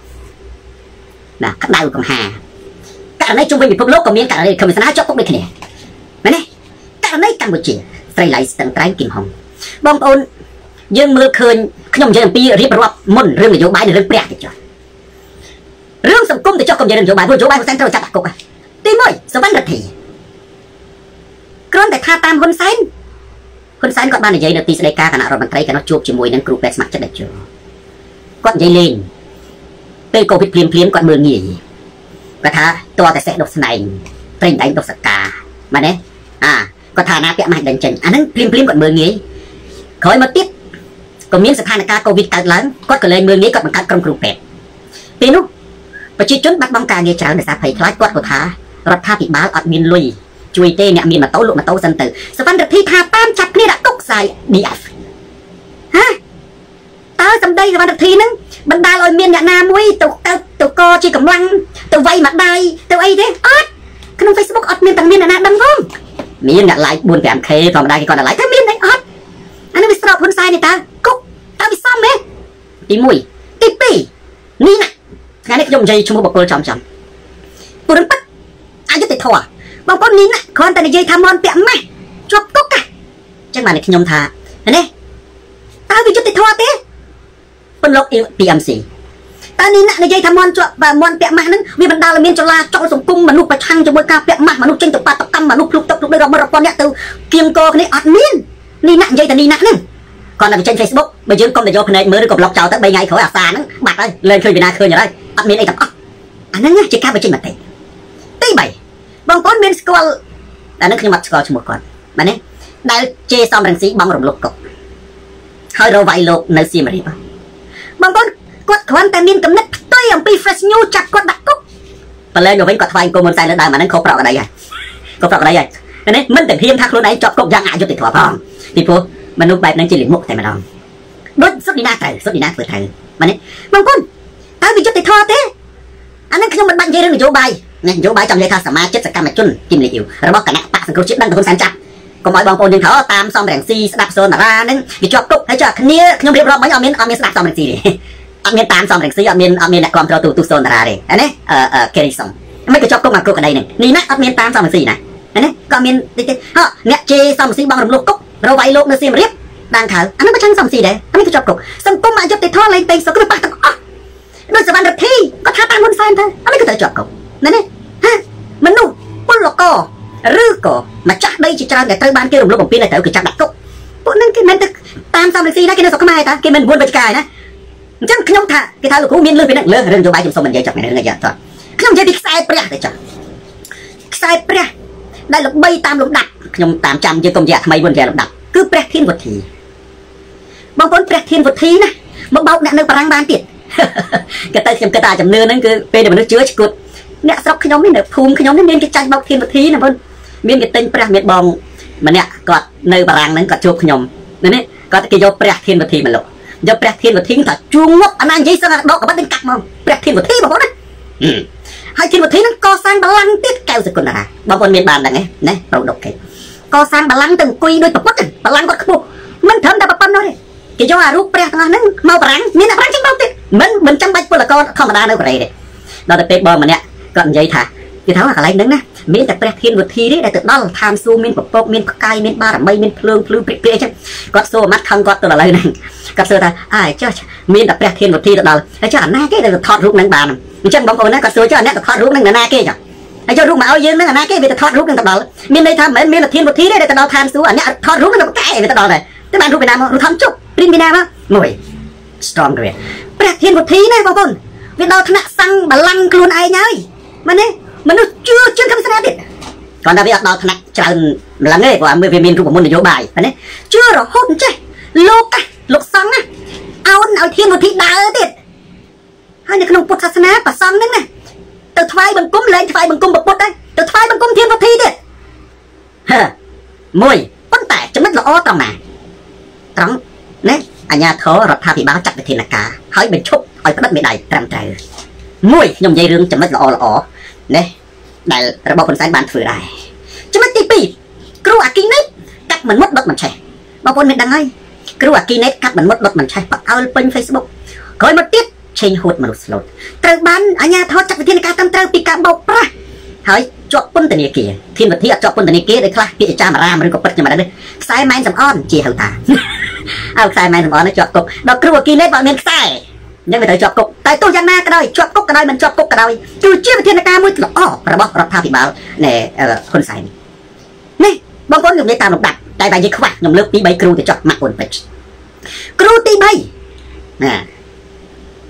គឺគ្រូស្នងរូបនេះគ្រូគាត់ស្នងរូបនេះថ្មីថ្មីថ្មីថ្មីនេះហើយជា2 3ខែមុននេះលេងដាក់មុននេះចូលហ្មង លខោនលេងហ្មងព្រះនាងព្រះម៉ែឥឡូវតើកូនដល់ទីណាហើយកូនបានឃើញហើយព្រះម៉ែកំពុងកំសត់ណាយំអោបគ្នានៅលើទូគឺលេងស្គរឲ្យលេងពិនពីដាក់ឲ្យទូងទូងអង្គើត្រីទៅដល់អង្គើវត្តហ្នឹងអាផ្លោងទ្វារអង្គើវត្តមានរូបនាគហ្នឹងទៅចាក់បាសណារួមម៉ៃអែនកទូទៅហ្នឹងពាក់អាវអាចារ្យទៀតណាសុកគឹមត្រូវបានណារបបឬក៏អាជ្ញាធរបង្ក្រាបត្រឹមត្រូវឯកភាពមែនទេឯកភាពវាអយុត្តិធម៌មារយាទទេអយុត្តិធម៌សម្រាប់គ្រូទាំងអស់ហ្នឹងគ្រូមួយទៀតគ្រូទឿគ្រូទឿនេះអាហ្នឹងគឺជាការសម្ដែងគេដឹងអញ្ចឹងគេអត់ត្រូវការនេះទេគេត្រូវហៅទៅសួរនាំគ្រូទឿគ្រាន់តែលេងបញ្ចេញយុទ្ធសិលស្អីគេថាស៊ីអាចគោអញ្ចឹងអាហ្នឹងជាការសម្ដែងក្រោយមកគេដឹងតែឥឡូវវាជាការសម្ដែងទេហើយអត់បណ្ដាលឲ្យមានភាពបកវោសង្គមអ្នកណាអីទេអានឹងត្រូវគេហៅទៅប្រមានដែរប៉ុន្តែក្រោយមកទៀតគេដឹងថាអូអានឹងវាជាការសម្ដែងជាមុខរបរជាការរកស៊ីទេល្អវាអត់អីទេប៉ុន្តែទោះយ៉ាងណាក៏ដោយក៏ត្រូវវាដែរប៉ុន្តែឥឡូវយើងត្រឡប់មើលខឹមវាសនាហាខ្ញុំលើកឧទាហរណ៍ណាប្រៀបធៀបខឹមវាសនាជាមួយនឹងព្រះធានវុធីជាមួយនឹងនេះគ្រូអគីណេតជាមួយនឹងគ្រូស្នងរូបតើនរណាដែលបង្កភាពវឹកវរសង្គមបំផ្លាញធនធានមនុស្សបងប្អូនមានដឹងនៅកូរ៉េរហូតដល់ទូតខ្មែរណាចេញសេចក្តីថ្លែងការណ៍ហាមអ្នកនៅកូរ៉េច្រើនជាងគេនៅជប៉ុនខ្លះនៅអារ៉ាប់ណា អ្នកពលករដែលធ្វើការក្រៅប្រទេសហ្នឹងត្រឡប់មកស្រុកខ្មែរវិញខ្លះទៅមិនទាន់តែមានកងត្រាផងជីវិតថ្មីខ្លះធ្វើការមិនទាន់តែបានលុយផងសុកចិត្តទិញសបុតណាឆ្ពោះទៅកាន់សៀមរាបឥឡូវខ្ញុំសួរថាតើនរណាទទួលខុសត្រូវចំពោះការបាត់បង់ការងារនឹងរួចក្រសួងការងារបើយើងដេញតទៀតគឺរបបហ៊ុនសែនរដ្ឋាភិបាលខិតខំប្រឹងប្រែងណាស់ដើម្បីរកការងារឲ្យមនុស្សធ្វើគ្នាវាល្ងងគ្នាវាល្ងងវាត្រូវហើយ ប៉ុន្តែអ្នកឯងអាចមិនអាចទៅបន្ទោសគ្នាទាំងស្រុងបានទេទៅបន្ទោសអាមេបោកអអាហ្នឹងណាដែលជារឿងមួយបងប្អូនមើលមើលមែនទេព្រមជារិចតើត្រឹមតែហៅទៅប្រមានត្រូវទេត្រឹមជាចំណាត់ការក្រសួងធម្មការត្រូវទេករណីកម្មវិសាមិនមែនករណីក្រសួងធម្មការទេណាមិនមែនករណីសាសនាទេករណីញុះញង់បង្កចលាចលសង្គមហេតុអីដែលមានផលកើតឡើងផលត្រឹមណាមនុស្សរាប់ម៉ឺននាក់ទៅភ្នំកលែនអានេះជាផលហើយនេះផលនៃការញុះញង់ហ្នឹងមែនទេទី1ទី2ប្រជាពលករខ្មែរបាត់បង់ការងារ នៅប្រទេសកូរ៉េមនុស្សល្ងងល្ងងយើងត្រូវថាអញ្ចឹងតើរបបហ៊ុនសែនដែលខិតខំប្រឹងប្រែងបណ្ដុះបណ្ដាលភាសាកូរ៉េនៅក្នុងប្រទេសកម្ពុជាខិតខំប្រឹងប្រែងដើម្បីឲ្យការងារមនុស្សធ្វើណាកាត់បន្ថយភាពក្រីក្រនៅក្នុងជីវភាពហ្នឹងតើអ្នកឯងទទួលខុសត្រូវចំពោះការបាត់បង់ការងារហ្នឹងទេឥឡូវងើវាល្ងើហើយប៉ុន្តែពួកហ្នឹងវាដឹងតែខ្លួនវាល្ងើទេវាអត់ទេវាដឹងតែខ្លួនឯងល្ងើទេសួរថាតើដែលជឿគំវាសនាហ្នឹងបាត់ការងារហ្នឹងវាបានការងារទៅវិញទេទៅកូរ៉េមិនងាយទេណាណាទៅកូរ៉េងាយទេទៅជប៉ុនទៅអារ៉ាប់ឬក៏ទៅអា ស៊ីម៉ាឡេស៊ីឥណ្ឌូនេស៊ីទៅធ្វើការហ្នឹងអត់ងាយណាចេញចូលធ្វើការបានទេហើយចឹងបើរដ្ឋាភិបាលហ៊ុនសែនមិនមានវិធានការទប់ស្កាត់ឬក៏ការចាត់វិធានការផ្លូវច្បាប់អានឹងគឺប្រទេសកម្ពុជានឹងច្បាប់ម៉ែវាវាអត់ច្បាប់រឿងអីបានជាអ្នកថាតាបុនសានជាប់គុករឿងអីដែលមន់ពាក់ម៉ាស់ជាប់គុកដែលអត់មានផលសោះរឿងអីខំវាសនាមិនជាប់គុកខំវាសនាជាប់គុកជារឿងតាមត្រូវណាយុត្តិធម៌ណាជាការប្រមានមួយត្រឹមត្រូវជាការប្រមានមួយត្រឹមត្រូវហើយជាតបបងប្អូនពីព្រោះច្បាប់ស្រុកខ្មែរមានទៀត បង្កចលាចលមកប្រទេសក្នុង Facebook បើកទៅណាមិនឃើញខំវាសនាហើយខ្ញុំនិយាយចំឈ្មោះព្រោះបងប្អូនខ្ញុំរឿងប៉ះពាល់ផលប្រយោជន៍បុគ្គល PVT នេះរឿងប៉ះប្រយោជន៍សូនតារាខ្ញុំអត់ប្រតិកម្មប៉ុន្តែគឺវាសនាវាមិនមែនប៉ះពាល់ផលប្រយោជន៍សូនតារាទេប៉ះពាល់ផលប្រយោជន៍យុវជនមួយចំនួនដែលគ្នាល្ងីល្ងើល្ងងចុះគណៈល្ងីល្ងើល្ងងហ្នឹងជេរសូនតារាអត់ទេខ្ញុំអត់ដែលគិតពីអនិយមទេខ្ញុំគិតពីគេខ្ញុំមិនដែលគិតថាគេត្រូវការការតបស្នងទេខ្ញុំជួយអ្នកជេរខ្ញុំខ្ញុំមិនដែលគិតថាខ្ញុំត្រូវការឲ្យអ្នកជេរហ្នឹងមកតបស្នងខ្ញុំទេមែនទេ រឿងកសលផលបុណ្យរឿងអំពើល្អអត់ត្រូវការការតបស្នងទេធ្វើគឺធ្វើអ្នកជេរសូនតារាចៅរតនៈរបស់ជួងដែលចាញ់បោកខឹងវិសាដារាប់ពាន់អ្នកហ្នឹងណាអាចជេរបានប៉ុន្តែខ្ញុំសន្ទុះអ្នកឯងបើអ្នកឯងណាកុំស្ដាប់កឹងវាសនាតែមួយខាងបន្តិចទៀតខ្ញុំនិយាយហេតុផលច្បាស់ច្បាស់ព្រៃចាំអានឹងហេតុផលមួយដែលយើងមើលឃើញថាយុវជនរាប់រយរាប់ពាន់អ្នកនៅក្រៅប្រទេសដែលបោះបង់ចោលការងារត្រឡប់មកប្រទេសកម្ពុជាតើរដ្ឋាភិបាលទទួលខុសត្រូវយ៉ាងម៉េចហ៎ទទួ លខុសត្រូវយ៉ាងម៉េចចំពោះការបាត់បង់ការងារនេះអត់មានសោទេអត់មានគ្រាន់តែលិខិតហៅទៅនេះទេត្រូវចាត់បញ្ជូនរាជអាជ្ញាទៅប៉ុណ្ណឹងរាជអាជ្ញាណាត្រូវចោតប្រកាន់ភ្លាមហើយចាត់បញ្ជូនទៅឃុំខ្លួនដឹកត្រឹមត្រូវវិយុទ្ធធម៌ខ្ញុំនិយាយនេះណាបងប្អូនមិនមែនរឿងហ្នឹងកើតមានតែនៅក្នុងប្រទេសកម្ពុជាខ្ញុំលើកឧទាហរណ៍ចំណេះដឹងទូទៅមួយនៅសហរដ្ឋអាមេរិកកាលពីចន្លោះទសវត្សរ៍ឆ្នាំ80រឿងហ្នឹងបងប្អូនវាយ Google ក៏ឃើញដែរគាត់ឈ្មោះ David គាត់ឈ្មោះ David នៅសហរដ្ឋអាមេរិកទសវត្សរ៍ឆ្នាំ80អ្នកអាមេរិកខ្លះគាត់បានអានខ្លះគាត់បានដឹងខ្លះគាត់បានដឹងក៏គាត់ដឹងថ្ងៃនេះមានមេនិកាយមួយគាត់ថាខ្លួនគាត់ជាអតិទេពហើយគាត់និយាយដូចធម្មទេសនាចឹងថាផែនដីនឹងផ្ទុះផែនដីនឹងរលាយទឹកនឹងលិចអ្នកជាហៅតាដូច្នេះមនុស្សត្រូវបានសង្គ្រោះគឺត្រូវទៅផ្ដុំទៅចូលណាជាមួយនឹងនិកាយរបស់គាត់ពេលក្រោយមកទៀតក្រុមជ្រុលនិយមនឹងជួសុបទៅលើនិកាយរបស់លោកដេវីត ណានៅសហរដ្ឋអាមេរិកចន្លោះឆ្នាំទសវត្សរ៍80មករីបូរ៉ាក្រោយមកទៀតពេលស៊ើបឃើញថាគាត់មានជួញដូរអាវុធខុសច្បាប់ឬក៏កាលនោះដូចជាមានគ្រឿងញៀនផងហើយនឹងការកេងប្រវ័ញ្ចផ្លូវភេទមនុស្សមិនទាន់គ្រប់អាយុទាំងប្រុសទាំងស្រីនៅក្នុងឆ្នាំ1993នៅក្នុងអាណត្តិទី1ចៅរដ្ឋាភិបាលរបស់ប្រធានាធិបតី Bill Clinton បងប្អូនទៅឯកសារនេះមកនេះខាត់បានចេញវិធានការបង្ក្រាបចេញពីការចាប់ខ្លួនណាប៉ុន្តែមានការតដៃពេលហ្នឹងណា តដៃអ្នកគ្រប់គ្រងនិកាយដែលយល់ថាផែនដីរលំរលាយនឹងប្រយុទ្ធប្រឆាំងជាមួយអាញាធរអាមេរិករហូតមានស្លាប់តម្រាំតែនេះរហូតមានការចរចាគ្នាវាយគ្នាតំបន់ដៃណាអ្នកខ្លះសុខចិត្តសម្លាប់ស្លាប់ខ្លួនផងឥឡូវគឺករណីនេះដូចខំវាសនាប៉ុន្តែយើងសួរថាហេតុបាទខ្ញុំលើកឧទាហរណ៍នេះបងប្អូនសំបីទៅនៅអាមេរិកណាអ្នកដែលជ្រុលនិយមបង្កឲ្យមានភាពវឹកវរសង្គមបែបដូចនេះណាគេចេញពីការចាប់ខ្លួនរឿងអីខំវាសនាមានតែការចាប់ខ្លួនមួយបើមិនមែនហ៊ុនសែនជាអ្នកបញ្ជារៀបចំឲ្យធ្វើ អញដាក់សំណួរចេះទេខ្ញុំអត់ចោទសម្ដេចទេមិននេះខ្ញុំសួរទៅវិញទេខ្ញុំសួរតើតើវាជាផែនការរបស់សម្ដេចដែលរៀបចំឲ្យធ្វើឬក៏ជាផែនឬក៏កម្មវិធីស្គុតមែនទេបងប្អូនមានរឿងនេះកើតនៅអាមេរិកគេធ្វើហើយសម្ដេចតែសុកគេប្រជាធិបតេយ្យគេនេះផងមិនដូចស្រុកសម្ដេចណាសន្តិភាពដើរចាប់អាអ្នកថាតាមដាក់គុកហើយចំណែកអាអ្នកដែលនៅបាត់បង់ការងារមនុស្សនេះនេះត្រូវមិនសម្ដេចឆ្លើយមកមើលតើអ្នកដែលត្រឡប់ទិញចំហមកដល់ស្រុកខ្មែរអ្នកដែលបោះបង់ចោលការងារនៅជាពាក់ធនាគារអ្នកណាសង អ្នកដែលទៅកូរ៉េនឹងសិតជាពាក់ធនាគារណាបានអ្នកណាសងមនុស្សខ្លះជាបង្គោលមួយនៅក្នុងគ្រួសារបើបាត់តែនឹងគាត់ការងារធ្វើតែគ្រួសារនឹងវាផ្ដល់វិបត្តិទៅដល់សង្គមយ៉ាងដូចម្ដេចយ៉ាងដូចម្ដេចរឿងហ្នឹងខ្ញុំនិយាយរឿងនៅសហរដ្ឋអាមេរិកណានេះហាឥឡូវយើងត្រឡប់មកគំវាសនាវិញតើគំវាសនានេះបង្កភាពវឹកវរខ្លាំងជាងដាវីតនៅអាមេរិកទៅទៀតបាទនេះខ្ញុំអត់ចាំរដ្ឋប្រហែលជារដ្ឋអីប្រហែលជារដ្ឋនៅរដ្ឋនៅអារីសូណាតិចសាស ណាទីក្រុងឯខ្ញុំមិនដឹងនៅតិចសាសខ្លាំងជាងត្រង់ណាពួកនោះជឿមនុស្សគ្រាន់តែជឿយកលុយទៅចូលហើយកេងប្រវាញ់ផ្លូវភេទទេអត់បណ្ដាលឲ្យមានមនុស្សណាបាត់បង់ការងារប៉ុន្តែខំវាសនាញុះញង់ឲ្យមនុស្សចាក់ចេញមកពីជុំវិញពិភពលោកបាត់បង់ការងារមិនមែនរឿងលេខសើចទេប៉ុន្តែដែលខ្ញុំនិយាយថានៅអាមេរិកដេវីតហ្នឹងមានករណីតែមួយទេអេវាតែមែនទេនៅតិចសាសហ្នឹងគឺលក្ខណៈជួញដូរផ្លូវភេទកេងប្រវ័ញ្ចប្រភេទបងប្អូនឃើញវាសនាណា បើរដ្ឋរដ្ឋាភិបាលរបស់ហ៊ុនសែនបើឃើញវាសនាមិនមែនជាអាយ៉ងណាសម្ដេចសាស្ត្រស៊ើបអង្កេតខ្ញុំឲ្យស៊ើបអង្កេតពីររឿងទី1រឿងកេងប្រវ័ញ្ចផ្លូវភេទឃើញវាសនាអត់ទេអត់ទេបងប្អូនមិនដឹងជាមានមនុស្សប្រុសក្មេងៗប្រហែលអ្នកទេដែលត្រូវខំវាសនាណាកេងប្រវ័ញ្ចផ្លូវភេទមានមានមនុស្សចរិតខូចពីកំណើតតាំងពីមុនចូលគណៈបកសំរងស៊ីធ្វើការនៅក្រសួងមហាផ្ទៃធ្លាប់ជាប់គុកម្ដងមកពីបាត់ខ្លែងបន្លំឯកសារអាសារជាតិពីកំណើតខូចទុច្ចរិតណាដូចបដិជគុណ30ជានិយាយណាអត់ខុសទេបងប្អូនអក្សរដឹងតែគឹមវិសនា កាលពីយុវជនអាយុ20ឆ្នាំទៅជាតួកុនណាធ្លាប់ជាប់គុកនៅក្រសួងមហាផ្ទៃពីបាត់ខ្លែងបន្លំឯកសារអត់ដឹងទេណាហាកំណត់សារជាតិខូចទុច្ចរិតបោកប្រាស់វាកើតមានរហូតដល់បច្ចុប្បន្នណាណាអត់ដឹងនេះចំណុចទី1ចំណុចគឹមវិសនាបងប្អូនខ្ញុំឲ្យរបបនេះហ៊ុនសែនស៊ើបអង្កេតតែពីរឿងទី1រឿងកេងប្រវ័ញ្ចផ្លូវភេទខ្សែសន្តិវៈលោកយុវជនពួកកមិស្នាក៏ស្រឡាញ់មនុស្សស្រីទេយុវជននៅក្នុងហ្នឹងមានពិតគ្រាន់តែហ៊ុនសែនមិនចង់ធ្វើវាជាអាយ៉ងរបស់ហ៊ុនសែន អត់ទាន់សូវទី2គ្រាន់តែរបបហ៊ុនសែនសួររឿងទ្រព្យសម្បត្តិចំការបានពីណាកមិស្នាមុខរបបប្រភពធ្វើការអីបើតែបើសួរសូនរ៉ាសូនរ៉ាមានលុយទេខ្ញុំមានតែទូរស័ព្ទមួយស្រាប់ខោហ៊ុនសែនមានផ្ទះនេះរត់ឲ្យនៅឯថាដើរទៅណាមកណាគឺបងប្អូនយើងដាក់បើមិនជិះឡានខ្លួនឯងបងប្អូនយើងដាក់ទៅដាក់ទៅឆ្ងាយនេះបងប្អូនយើងមកពីប៉ារីជិះកាត់ដឹកសូនតារាទៅទៅអើបើមិនដឹកខ្ញុំអត់ទៅមិនខ្ញុំអត់មានលុយជិះឡានទៅដល់ប៉ុណ្្នឹងឯងអើបើជិះសមុទ្រយន្តហោះទៅសុយអែតទៅអឺរ៉ុបហ្នឹងបងប្អូនយើងនៅស្អែកគេទិញសមុទ្រថា ផ្ញើទៅតាមទូរស័ព្ទមកខ្ញុំចុចទៅហ្នឹងគឺមានស្អែកបើនេះជាប្រភព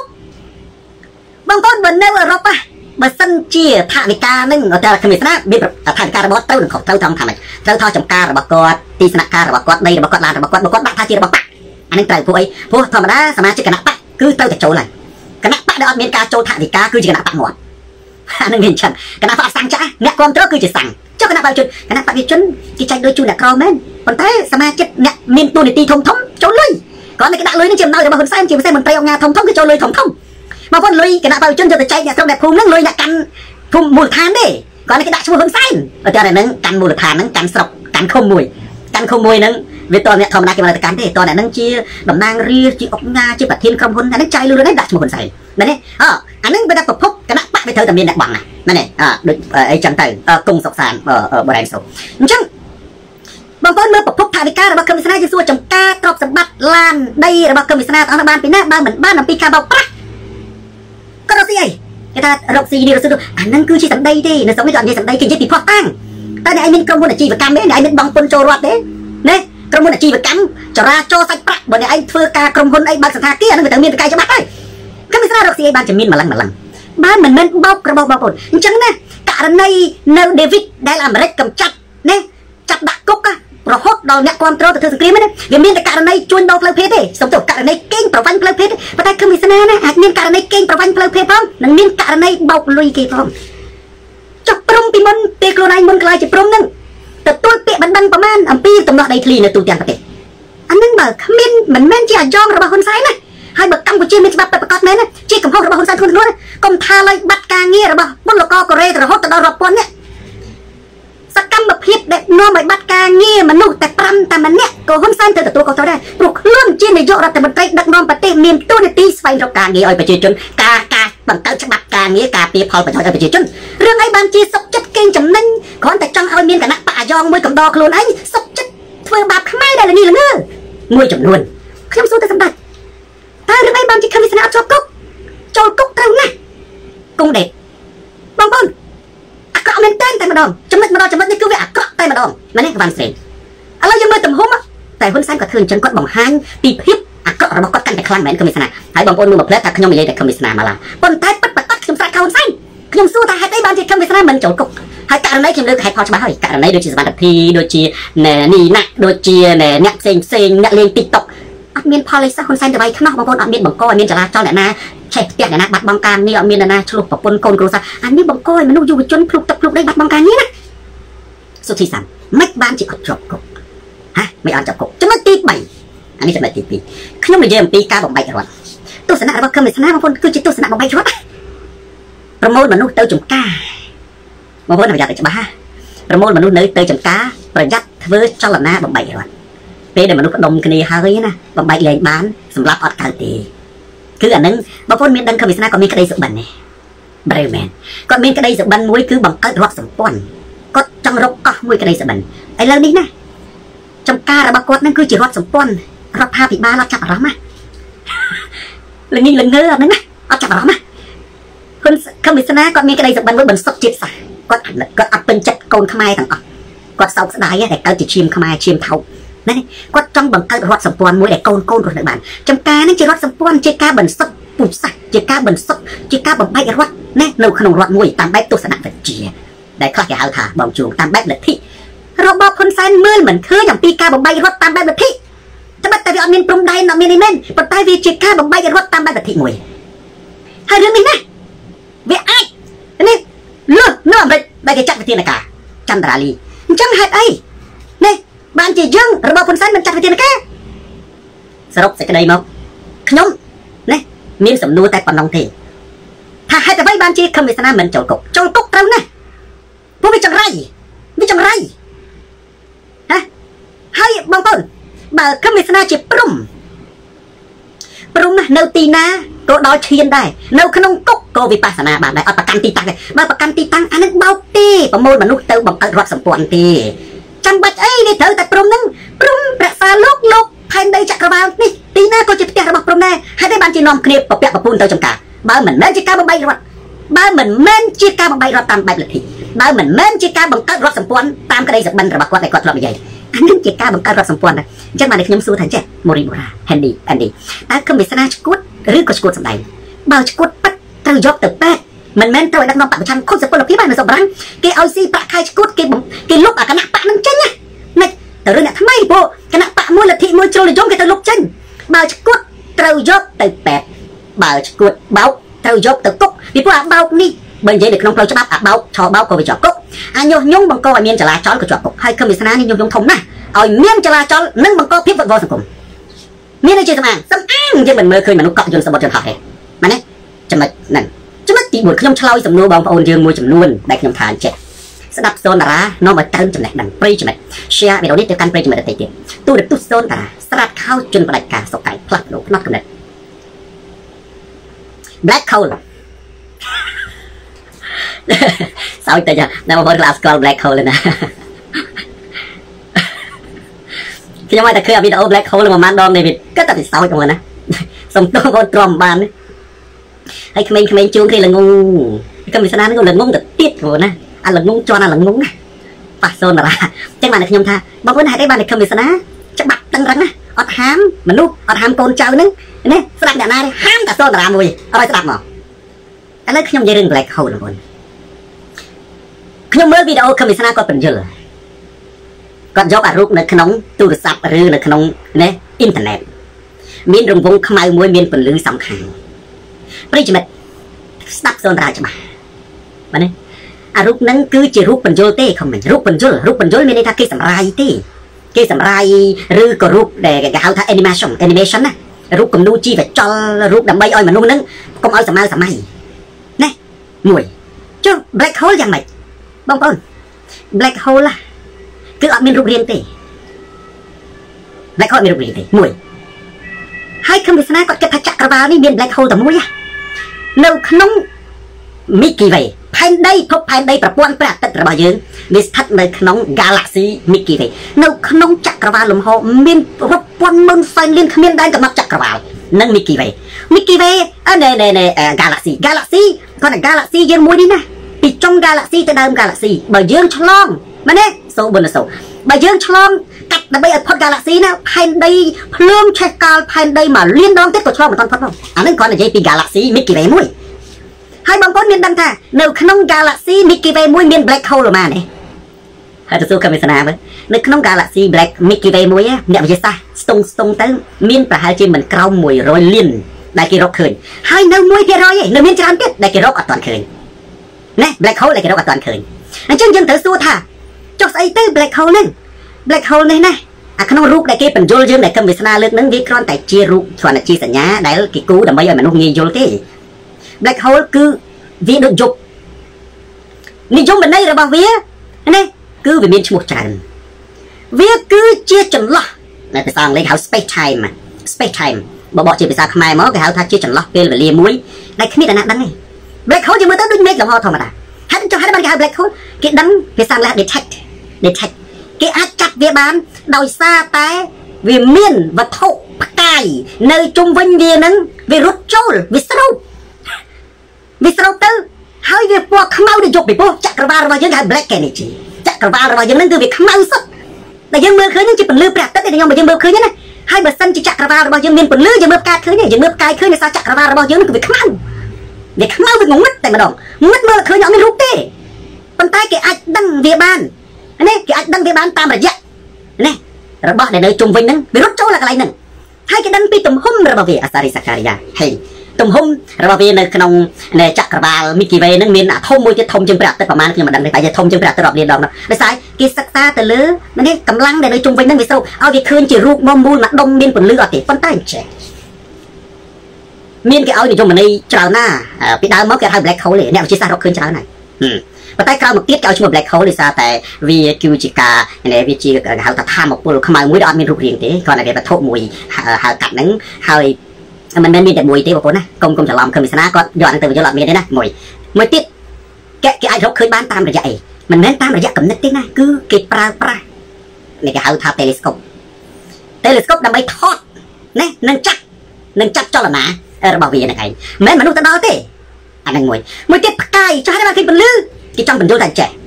រាល់ផ្កាយទាំងអស់មុននឹងស្រោបចូលទៅក្នុងអាម៉ាលីនមុននឹងស្រោបចូលទៅក្នុងអា black hole ហ្នឹងណាគឺវាភ្លុះខ្លាំងហ្មងអានេះរបស់យល់ហេតុអីបងប្អូនដូចកតុយបរិយហ្នឹងកតុយបរិយពេលដែលយើងពេលដែលយើងកាន់ណា អត់សូវប្រហែលពេលយើងយកកតុយបរិយនឹងគប់មកតំហឹងដូចភ្លើងហោះអញ្ចឹងមានន័យថាផ្កាយមុននឹងត្រូវបានស្រោបចូលទៅក្នុងអា black hole ហ្នឹងគឺវាឆេះហ្មងអញ្ចឹងហើយបានវានាំឲ្យមានពន្លឺហើយ black hole វាមានទំហំរហូតទំហំតូចជាងផែនដីតូចជាងព្រះអាទិត្យតូចជាងព្រះច័ន្ទក៏មានទំហំធំជាងភ្នំតិចតួចក៏មានដែរអាហ្នឹងបើយើងនិយាយអំពីការរកឃើញរបស់អ្នកវិទ្យាសាស្ត្ររកឃើញរបស់អ្នកវិទ្យាសាស្ត្រហើយវាមានអំណាចអំណាងនេះត្រឹមត្រូវមួយទៀតបងប្អូន ខ្ញុំគ្រាន់តែចង់ប្រាប់ប្រិយមិត្តថា black hole នេះយើងអត់ដឹងថានៅថ្ងៃអនាគតគេនឹងហៅថាអីទៀតទេគេហៅថាអីទៀតទេបើនិយាយពីខ្មែរភាសាបារាំងហៅគេហៅថា true noir បើភាសាខ្មែរយើងបើយើងមានដាក់គេហៅថាប្រហោងខ្មៅប៉ុន្តែប្រហោងមិនមែនតូចទេបើធំជាងព្រះអាទិត្យមានកន្លែងខ្លះរាប់លានដងហើយនោះប្រហោងខ្មៅហើយប្រហោងហ្នឹងយើងមិនឃើញប្រហោងវាជាលំហសុខសាគាត់តែវាមានកម្លាំងមួយទៀងតែប៉ុណ្ណោះហើយនៅក្នុងចក្រវាលយើងនេះគេគាត់តែក្នុង Milky Way យើងមួយណាមានរហូតដល់ទៅ100ណា នេះវាគឺជាចលនាច្បាប់ធម្មជាតិរបស់ផែនដីមួយរឹតទីបូអាហ្នឹងខ្ញុំនិយាយនឹងមួយចុះមួយទៀតបងប្អូនបើសិនជាគំវាសនាគាត់គឺជាអ្នកត្រាស់ដឹងគាត់ជាអ្នកព្រមគាត់ត្រូវបង្កើតពាក្យខ្លួនឯងគាត់ត្រូវរកឃើញអ្វីដែលថ្មីគាត់មិនត្រូវយករបស់គេថាខ្លួនឯងទេឃើញទេឥឡូវ black hole ហ្នឹងបើសិនជាថ្ងៃមុខ black hole គេដាក់ឈ្មោះថាសំណាញ់សំណាញ់ខ្មៅមែនទេតែគំនិតនឹងហៅទៅវាថាអីវិញហៅវាថាអីវិញអានេះហ៎ អានេះគឺជាជំនឿឈួតសិក្សាគឺជាជំនឿសិក្សាអត់មានផុសតាំងវាអត់អ្វីទាំងអស់ដែលនិយាយទៅអត់មានផុសតាំងអាហ្នឹងគឺគេហៅថាជំនឿហើយជំនឿនេះគឺជាជំនឿល្ងីល្ងើល្ងងណាបងណាវិទ្យាសាស្ត្រគេបានគេបានវេទញែកស្រាប់ហើយគេបានបង្ហាញហើយមួយមួយទៀតគេបានឃើញអត្ថបទមួយផ្ញើមកខ្ញុំសួរអំពីគេថាខមិសនានឹងឈួតឲ្យមើលមេឃមើលផ្កាយពេលនោះខមិសនាគាត់ក៏ឆ្លើយតបវិញថាធម្មតាមនុស្សមើលមើលផ្កាយមិនឈួតទេពីព្រោះមុននឹងហាលស្រូវវាត្រូវមើលមេឃត្រូវអានឹងចំនួនមុន ប៉ុន្តែចំនួនឥឡូវបងប្អូនគេមើលទូរស័ព្ទបានតាបើទេគេមើលទូរស័ព្ទបានតាដោយសារពីដើមអ្នកដែលមើលមេឃគឺដោយសារវិទ្យាសាស្ត្រវាមិនទាន់រីកចម្រើនជាងលឿនដូចជាអ្នកចាក់ទឹកភ្លៀងនៅផ្សារអាស័យផ្ទះខ្ញុំចាស់ចាស់គាត់លេងទឹកភ្លៀងឥឡូវលេងមិននៅស្រុកបារាំងនេះណាគេអាចមើលណារហូតដល់ទៅមួយសប្តាហ៍ជាក់លាក់99%ជាក់លាក់មើលយ៉ាងម៉េចមើលដឹងថាថ្ងៃច័ន្ទថ្ងៃអង្គារមានកម្ដៅប៉ុណ្ណេះមានភ្លៀងថ្ងៃពុធភ្លៀងមានប្រហែលភាគរយយើងមើលដឹងទៀតណាអញ្ចឹងបច្ចុប្បន្នណា ដើម្បីដឹងថាចង់ហាលស្រូវបើប្រទេសនៅស្រុកបារាំងគេអត់មើលមេទេព្រោះមេស្រុកបារាំងបោកឃើញឆ្លាស់ឆ្លាស់ចេញទៅអត់ដាក់នេះស្រុកបារាំងគេដាក់អាវក្នុងកាបូបរហូតឃើញមេឆ្លាស់ចេះដើរទៅបាន5នាទីមេលងឹតឆឹងបើមានដែរមែនទេគេអត់មើលមេទេគេមើលទូរស័ព្ទណាគេមើលទូរស័ព្ទដើម្បីព្រោះទូរស័ព្ទហ្នឹងវាវាមានសីតុណ្ហភាពគេប្រាប់ថាថ្ងៃនេះមេឆ្លាស់ថ្ងៃនេះមេពពកថ្ងៃនេះមេខ្យល់ថ្ងៃនេះមេភ្លៀងគេប្រាប់ទៅទៅអានឹងមានអីប្របាទចំណុចមួយចំណុចមួយទៀតខ្ញុំនិយាយរឿងបញ្យលណេះប៉ាហេងបងប្អូនរបស់យើង អំពីរឿងបាតុភូតធម្មជាតិទឹកបន្តិច បាតុភូតធម្មជាតិបាតុភូតធម្មជាតិវាមានរាប់លានឆ្នាំមកហើយហើយខ្ញុំនិយាយនេះគឺជាការពិតបងប្អូនមើលហើយបានដៃលូសើបាត់បង់ដៃលូសើបាត់បង់នេះមុនពេលខំវាសនាកើតមិនមែនដោយសារតែខំវាសនានោះដល់ឈានទេដល់ឈានទេអានេះនិយាយពីដៃលូសើបាត់បង់រឿងជាការពិតបងប្អូនរឿងហេតុអីបានជាផែនដី មានសមុទ្រមានកោះមានភ្នំតកដោយសារតែវាប្រែប្រួលផែនភ្នំពេញឥឡូវទីអស់ចា ភ្នំពេញពីមុនជាបឹងណាជាទឹកសុទ្ធណាមានតែវត្តភ្នំទេប៉ុន្តែឥឡូវវាទៅជាដីឃើញកន្លែងខ្លះគេត្រូវជាលុកពិភពលោកប្រហែលជាទៅតែមានលំនឹងបច្ចុប្បន្នទេវាប្រែប្រួលហើយប្រែប្រួលពិភពលោកមានអីខ្លះប្រែប្រួលពិភពលោកនេះណាគឺវាមានជាបាតុភូតធម្មជាតិធម្មតាវាមានបន្ទុះភ្នំភ្លើងវាមានរំជួយដីឬស៊ូណាមិស៊ូណាមិគឺជារំជួយដីឬក៏បន្ទុះភ្នំភ្លើងបាតសមុទ្រប៉ុន្តែដោយសារវាកើតនៅជប៉ុនញឹកញាប់ទើបជប៉ុនវាហៅតែយើងហៅតាមជប៉ុនទេតែពិតវាមានយូរហើយអាស៊ូណាមិហ្នឹង នេះរំជួយផែនដីបន្ទុះភ្នំភ្លើងអានេះបំណាក់ស្រុតខ្យល់ព្យុះទឹកជំនន់អានឹងវាមានតាំងពីការកកើតនៃផែនដីតាំងពីជំនាន់ឲ្យតែផែនដីកកើតនោះមិនមែនមានពេលបច្ចុប្បន្នទេហើយអត់ចាំបាច់ទាយទេបងប្អូនខ្ញុំប្រាប់រឿងមួយបងប្អូនបាយ Google នៅក្រោមបាតសមុទ្រណាក្នុងមួយថ្ងៃមានរំជួយដីរាប់ពាន់កន្លែងហើយរាល់ថ្ងៃកើតរាល់ថ្ងៃមួយមួយទៀត នៅឥណ្ឌូនេស៊ីនៅឥណ្ឌូនេស៊ីបន្ទុះភ្នំភ្លើងមានរាល់ថ្ងៃរហូតមានអ្នកខ្លះរកស៊ីកំអែលភ្នំភ្លើងទៀតបងប្អូនអ្នកដែលធ្វើការនៅឥណ្ឌូនេស៊ីឬក៏អ្នកនៅម៉ាឡេស៊ីហ្នឹងបងប្អូនអាចដឹងអ្វីដែលសូនតារានិយាយវាចាត់សួនបើមិនដឹងស្រាវជ្រាវបងប្អូននៅឥណ្ឌូនេស៊ីក្នុងមួយថ្ងៃមួយថ្ងៃបន្ទុះភ្នំភ្លើងពុះភូមិស្ថិតដីវាមានភូមិសាស្ត្រតំបន់របស់វាហើយនៅឥណ្ឌូនេស៊ីណាបន្ទុះភ្នំភ្លើងហ្នឹងរហូតបច្ចុប្បន្នមានកម្មករភ្នំភ្លើងទៀត គេទៅយកកំអែលយកកំអែលមិនយកអានេះទេមិនយកអាណែអាកំអែលដែលងាប់ទេណាភ្នំភ្លើងដែលហូហូហើយយកមកដើម្បីអីដើម្បីរកស៊ីអីផ្សេងទៀតខ្ញុំមិនដឹងទេអញ្ចឹងនៅលើផែនដីយើងនេះមានគ្រប់ទីកន្លែង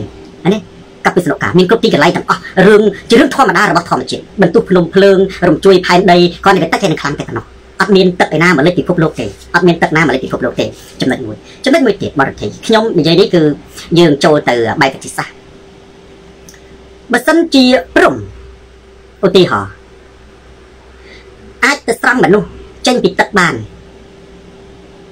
ណាហេតុអ្វីបានជាមិនទៅខាត់ទឹកកុំឲ្យលិច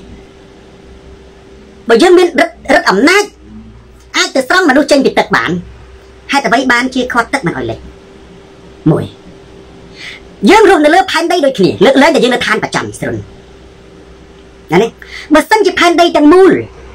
ត្រូវស្លាប់រំជួយងាប់ ហេតុអីបានជាអានៅភ្នំកលៀននេះវាអត់អីហ៎ហេតុបើភ្នំកលៀនអត់អីឧទាហរណ៍ថាបើវាលិចហេតុបានអត់លិចអាកន្លែងហ្នឹងមួយមួយទៀតបងប្អូនបើសិនជាមនុស្សទាំងអស់ជឿឧទាហរណ៍ថាមនុស្សទាំងអស់ជឿគឺវាស្នាត្រូវទៅភ្នំកលៀនបងប្អូនណាឧទាហរណ៍ថាមិនបាច់ចាំអឺរ៉ុបទេថាចិនជឿចុះ1000លានអ្នកតើ1000លានអ្នកណាស្រុកចិនហ្នឹងទៅភ្នំកលៀនយ៉ាងដូចម្ដេចឥឡូវចិននេះមិនជឿផងឧទាហរណ៍ចុះបើចិនជឿថាគឺវាស្នាជាព្រំខ្ទាល់អត់ចេះ បងប្អូនបងប្អូនអានេះបានគេថាស្ដាប់សូនតារាកើនបញ្ញាហើយត្រូវបានសង្គ្រោះឬក៏បងប្អូនគិតថាព្រមមានតែ20000នាក់បងប្អូនអត់ចង់ឲ្យមនុស្សជឿហើយបងប្អូនខឹងពេលដែលសូនតារានិយាយចឹងបងប្អូនទៅអើសូនតារានឹងល្ងងសូនតារានឹងអត់យល់ឥឡូវខ្ញុំក៏អត់យល់ខ្ញុំអត់ទៅចុះចុះប្រទេសអារ៉ាប់គេអត់ល្ងងគេគេយល់តាមតែឯងខ្ញុំមកទៅតែចិនជឿចុះនេះបាទឆ្លើយសំណួររបស់ខ្ញុំពួកអានេះហេតុផលណាហេតុផលសច្ចធម៌ logic បើចិនជឿតាម100លាននាក់មួយខេតទៅចុះតើភ្នំកលៀនអាចដាក់មនុស្សបាន100លាននាក់ទេហ៎ ហើយបើសិនជាផែនដីផ្ទុះឬឲ្យភ្នំកលៀនវាអត់ផ្ទុះដក logic វាអត់ត្រឹមត្រូវបងប្អូនអញ្ចឹងមានតែម៉េចគឺជាការបោកប្រាស់បង្កភាពដឹកវខាតប្រយោជន៍ហើយវាត្រូវទទួលទោសដៅចូលគុកបានវាត្រូវឥឡូវបងប្អូនឆ្លើយមកខ្ញុំបងប្អូនជួងអ្នកអ្នកដែលអ្នកដែលជឿគំវាសនាអ្នកដែលឆ្លើយជាមួយខ្ញុំមើលអានេះសំណាងហើយមានមនុស្សល្ងីល្ងើប្រហែលអ្នកឯងតែប៉ុណ្្នឹងអ្នកចុះបើមានមនុស្សល្ងីល្ងើខ្ញុំមិនបាច់ទៅរចិនល្ងីល្ងើចិនវាមាន1000លានអ្នកតែ100លានអ្នកវាជឿគំវាសនាហើយវាមកភ្នំកលៀនអើមានកន្លែងណាដាក់មនុស្ស ហើយខ្ញុំសួរពួកល្ងីល្ងើរបស់នេះពួកល្ងីល្ងើខ្ញុំអត់និយាយទៅណានេះណៃបើអ្នកណាឆ្លើយខ្ញុំបានអ្នកណាឆ្លើយសំណួរសូនតារាបានអានឹងត្រូវបានសង្គ្រោះអ្នកណាឆ្លើយមិនបានអានឹងធ្លាក់នរកអ្នកណាឆ្លើយបានអ្នកនឹងភ្លឺភ្លាមភ្លឺភ្លាមនេះអញ្ចឹងហើយបានជាខ្ញុំសរសេរនៅក្នុងចំណងជើងសំខាន់កំណានេះបងណាខ្ញុំទាញមកទៅនេះណាមេដាបៃតាប្តីប្រពន្ធឬក្រុមគ្រួសាររបស់លេងសុធិរិ របស់ពលករណាសគុណត្រៈនោះដែលរងគ្រោះនឹងដាក់ពាក្យប្តឹងដាក់បាននៅសុខប្រាំងគេអាចដាក់ពាក្យប្តឹងបានមែនទេបើសិនជារដ្ឋអត់ចាត់វិធានការគេដាក់ពាក្យប្តឹងប្តឹងឧទាហរណ៍ខ្ញុំបាត់បង់ការងារអ្នកអ្នកខ្លះទៅញុះញង់អ្នកថាឲ្យខ្ញុំនឹងឲ្យមានដំណោះនៅក្នុងក្រុមចាក់ឲ្យមានដំណោះក្នុងក្រុមហ៊ុននឹងបាត់ការងារខ្ញុំអាចប្តឹងបុគ្គលបានឪពុកម្ដាយណាជាសំណើជាសំណើរបស់ខ្ញុំដើម្បីសង្គ្រោះកូនយើងដឹងតែគ្នាឈ្គួតហើយយើងយើងលែងថែបានហើយទីទៀតខ្ញុំមិនលែងឈ្គួតហើយយើងដឹងលែងឈ្គួតហើយបាទនេះបើទស្សនៈរបស់ខ្ញុំដូចជាមួយបដិជនសានសុជាប៉ុន្តែខ្ញុំមានដំណោះស្រាយថ្មីណា មាតាបិតាឬក៏សមាជិកក្រុមគ្រួសារបើសិនជាបងប្អូនមិនចង់ឲ្យរឿងហ្នឹងកើតឡើងនៅក្នុងសង្គមខ្មែរត្រូវដាក់ពាក្យប្តឹងខំវាសនាទៅតុលាការពីបត់ញុះញង់ឲ្យកូនមកពីកូរ៉េពីព្រោះអត់មានអ្នកណាមានលុយបង់ធនាគារទេកូនខ្លះវានៅជប៉ុនណាអត់មានបង់ធនាគារគ្នាវាភ្លឺវាភ្លឺហើយគ្នាវាល្ងីល្ងើទៅវាត្រូវតែល្ងីល្ងើហើយប៉ុន្តែយើងមិនដឹងតែគ្នាល្ងីល្ងើអីណាទោះជាយ៉ាងណាក៏ដោយយើងអត់បាច់បញ្យល់មនុស្សល្ងើទេយើងចាត់វិធានការរបបហ៊ុនសែនដូចគ្នាទីទីយ៉ាអត់ បញ្យល់មនុស្សល្ងើទេចាត់វិធានការមានដាបេដាទៅប្តឹងតឡាការចាត់ការមិនចាត់ការនឹងរបបហ៊ុនសែនត្រូវមើលព្រឹកតាមពិតមិនត្រូវតឡាការមិនចាំបាច់ប្តឹងទេតាមថាព្រះអញ្ញាត្រូវធ្វើបទចោទភ្លាមហើយបញ្ជូនទៅបញ្ជូនទៅគុកបើមិនអញ្ចឹងមានដាបេដាទៅប្តឹងឥឡូវខ្ញុំសួរអ្នកទៅកូរ៉េហ្នឹងអ្នកខ្លះអត់ចាក់លុយគេហ៎អ្នកថាកូននឹងវាល្ងីល្ងើវាជឿវាជឿសុខអាល្ងីល្ងើទៅចាខ្ញុំនិយាយរឿងអញ្ចេះបន្តិចមករីបូរ៉ាទស្សនៈប្រជាជនសានសុជាត្រូវហើយគាត់លើកសច្ចធម៌មកគឺ100%ត្រូវហើយគាត់ថាប្រជាជនថា អ្នកដែលល្ងើមិនអ្នកបោកទេអ្នកបោកមនុស្សទុច្ចរិតគឺមិនស្នាមនុស្សទុច្ចរិតគាត់មិននិយាយឈ្មោះចំតែសូនតានិយាយណាប៉ុន្តែអ្នកដែលល្ងើគឺអ្នកជឿនៅតើនៅលើលោកនេះគ្មាននរកអីធ្លាក់ធ្លាក់នរកខ្លាំងជាល្ងងបងប្អូនណាល្ងងគឺជាជំនឿខុសត្រូវគាត់ថាសូនតាអញ្ចេះបើដឹងតែគ្នាល្ងើយើងនិយាយបញ្យលមិនបានយើងត្រូវសង្គ្រោះវិញខ្ញុំសួរសំណួរប្រិយមិត្តមួយមិត្តទីឡាហើយខ្ញុំចង់អានចម្លើយប្រិយមិត្តឧទាហរណ៍ នៅក្នុងផ្ទះរបស់យើងធ្លាយទៅយកទឹកបាញ់ឆ្វាច់ពេញផ្ទះបើទុកតែ4 5នាទីនេះលិចបន្ទប់ហ្មងលិចចក្រានបាយលិចបន្ទប់ហ្មងទៅយកនោះធ្លាយអាទៅយកធំប្រប៉ិនកដៃធ្លាយបែកខ្ចាច់ពេញបន្ទប់ចក្រានបាយសំណួរតើធ្វើដោយមិនដេចដើម្បីបញ្ឈប់ទឹកនោះកុំឲ្យហូរយកដៃទៅខ្ទប់យកផ្លាស្ទិកទៅបិទមែនទេយកភួយទៅរុំឬក៏យ៉ាងម៉េច ខ្ញុំរកអ្នកណាឆ្លាតនេះអ្នកណាឆ្លើយមកសំណួរនឹងត្រូវមានន័យថាបើសិនជាបានតាក់ជួងឆ្លើយទៀតនៅក្នុងនេះគឺសង្គ្រោះស្ដេចសនរានឹងត្រូវបានសង្គ្រោះណែកូនហេងអឺគឹមហេងកូនប៉ាមកឲ្យឆ្លើយថាម៉េចខ្ញុំនិយាយចឹងនេះណាខ្ញុំចង់តបទៅហេងសួរនឹងរបស់ហ៊ុនសែនបន្តិចបាទអើអើនៅនេះគាត់និយាយសីឡា100បន្ទុកបាទសីឡា air conditioner ខ្ញុំអត់អានចម្លើយតែបងប្អូនយកតាម100បន្ទុកហើយគង់ចម្រើនអត់ទាន់ឃើញឆ្លើយទេអឺបាទស្រីខៀងអត់ទាន់ទេ អើនេះគីតួបិទទឹកបិទទឹកអីគេអាហ្នឹងបិទទឹកយកអីទៅខ្ទប់ចាហ្នឹងយកអីទៅខ្ទប់បាទកូនខ្មែរអាសគុណធីប៊ុនអអានឹង100និយាយច្បាស់បាទ90បន្ទុកបាទអាយៀបសុកហួរ100បន្ទុកបាទនាងនីណានីនីណា100បន្ទុកបងប្អូនឧទាហរណ៍ថាបើទៅយកទឹកនៅក្នុងផ្ទះបាយយើងធ្លាយឆ្វាចបាញ់ទឹកពេញផ្ទះបាយមនុស្សល្ងងគឺគេយក គេព្យាយាមទៅបាត់ទៅយកដែលធ្លាយមនុស្សល្ងងណាយកដៃខ្ទប់យកស្កុតបាត់មែនទេទៅយកណាយកដៃខ្ទប់យកស្កុតបាត់យកភួយបងប្អូនទោះជាបងប្អូនយកអីមកបាត់ក៏វាអត់ចិត្តដែរវាផ្ទុះពេញផ្ទះទាំងអស់សាប់សារ៉ាវាផ្ទុះពេញផ្ទះទាំងអស់ខ្លះគេប្រើពាក្យបារាំងទៅបិទកុំព្យូទ័រទឹកខ្លះគេប្រើពាក្យវ៉ាន់ទៅបិទវ៉ាន់ទឹកអាហ្នឹងត្រៃហើយមែនទេទៅបិទអាប្រភពទឹកដើមរបស់វាសម្រាប់ហូរចូលណា ផ្ទះនៅផ្ទះយើងមានកុំទៅបិទអានឹងទៅទឹកនឹងវាលែងបាញ់ព្រោះអានៅផ្ទះមួយមួយមានអាគេហៅថាកុងទ័រទឹកនឹងបើបិទព្រោះជាងពេលដែលចុះជុលទៅយកទឹកផ្ទះយើងគេត្រូវបិទអានឹងមិនបើអត់ទេបាញ់ឆ្វាច់ខ្ញុំចង់និយាយថាមនុស្សល្ងងជួងណាវាប្រៀបដូចជាទៅយកទឹកអញ្ចឹងហេងសួរនិងហ៊ុនសែនណាដូចជាហេងសួរអំពាវនាវឲ្យពលករទាំងអស់កំចាញ់បោកអំពាវនាវនឹងប្រៀបបីដូចជាយកដៃទៅខ្ទប់ទឹកទៅយកអានោះវាមិនស្ដាប់មកគ្នាវាល្ងីល្ងើ ទៅរកប្រភពណាដែលនាំឲ្យទឹកនឹងវាធ្លាយប្រភពនៃខមិស្រាហើយធ្វើម៉េចចាប់ខមិស្រាផ្ដំទៀតទៅតាមច្បាប់ទៅវាធ្វើបាត់អាហ្នឹងខមិស្រាហ្នឹងសម្លេងនេះជាប្រភពនៃទម្លាយនៃដេកវាយខ្ចាយដេកវាយខ្ចាយព្រោះហ្នឹងវាជាការពិតព្រោះឥឡូវយើងចាំមើលមើលបាទនេះ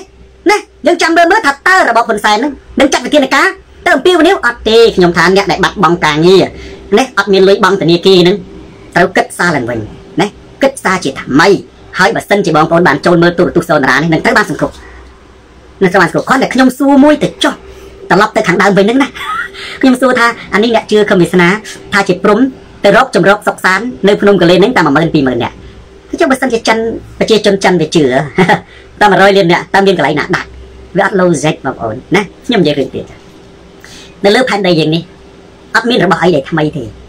អត់មានរបស់ដែលកើតឡើងលើសអ្វីដែលយើងមានទេមានន័យថាម៉េចផែនដីយើងទំហំប៉ុណ្ណាគឺវានៅតែប៉ុណ្ណឹង បើមិនផែនដីតូចទំហំវាបាត់បង់ទលីនៅក្នុងអាកាសក៏មានន័យថាទលីនេះបាត់តែគ្រាន់តែដូរទីតាំងទីជាប់ផែនដីទៅក្នុងអាកាស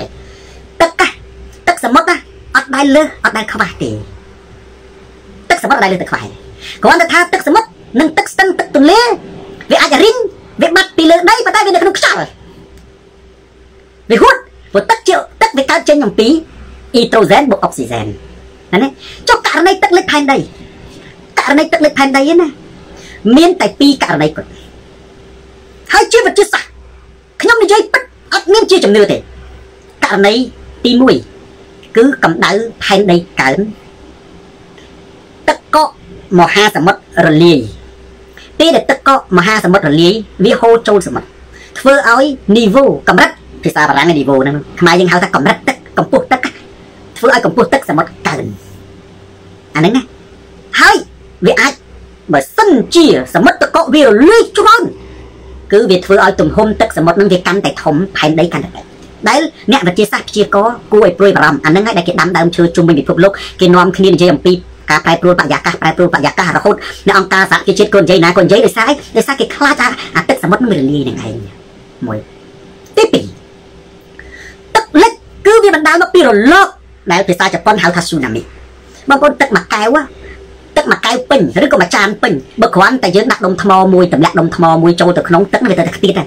អានឹងតូចមែនទេហើយចុះបើសិនជាសមុទ្រសមុទ្រធំជាងផែនដីបងប្អូនណាបើសិនជាសមុទ្រវារលកវារង្គើអារលករបស់វាហ្នឹងណាទឹកមួយចានយើងគ្រាន់តែដាក់ស្ពៃមួយដុំណាវាខ្ទាតចេញពីចាន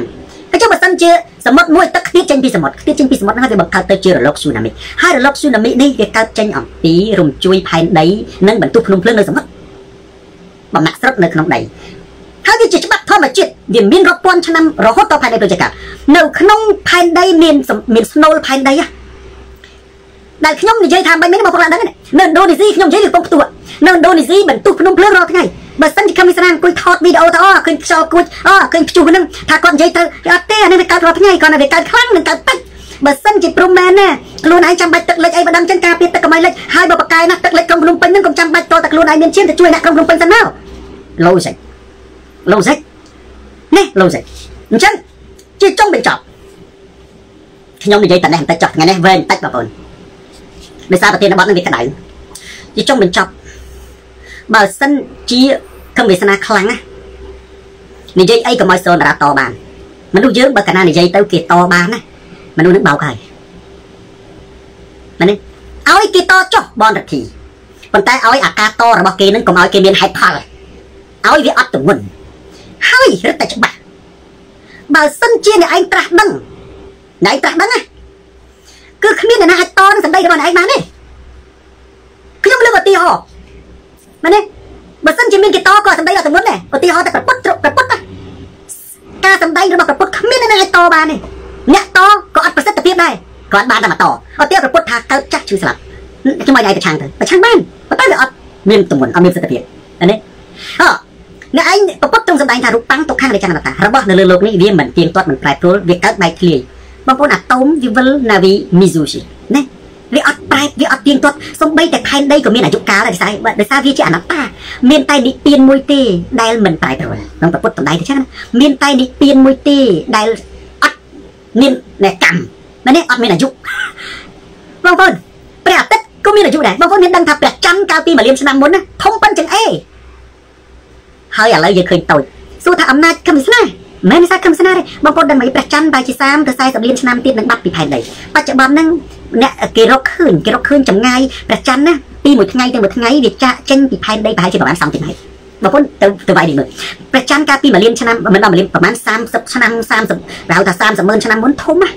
ប៉ិនចង្អេបងប្អូនធំប៉ិនចង្អេចិត្តផែនដីមែនទេប៉ុន្តែវារសាត់ឆ្ងាយទៅឆ្ងាយទៅប្រចាំមានអាយុយើងមិនដឹងថានៅប្រព័ន្ធព្រះអាទិត្យថ្ងៃក្រោយវាបែកវាលែងគ្រប់គ្នាព្រះអាទិត្យទៅផ្សេងផែនដីទៅផ្សេងហើយអ្នកវិទ្យាសាស្ត្ររកឃើញពន្លឺព្រះអាទិត្យពណ៌ព្រះអាទិត្យដូររាប់រយលានឆ្នាំទៀតបងប្អូនអានឹងស្របតាមប្រពុតអ្នកវិទ្យាសាស្ត្រមិនអាចប្រឆាំងជាមួយការរកឃើញរបស់ប្រពុតបានទេគឺគ្រាន់ត្រឹមតែមករកឃើញថាអ្វីប្រពុតនិយាយគឺត្រូវតែប៉ុណ្ណោះ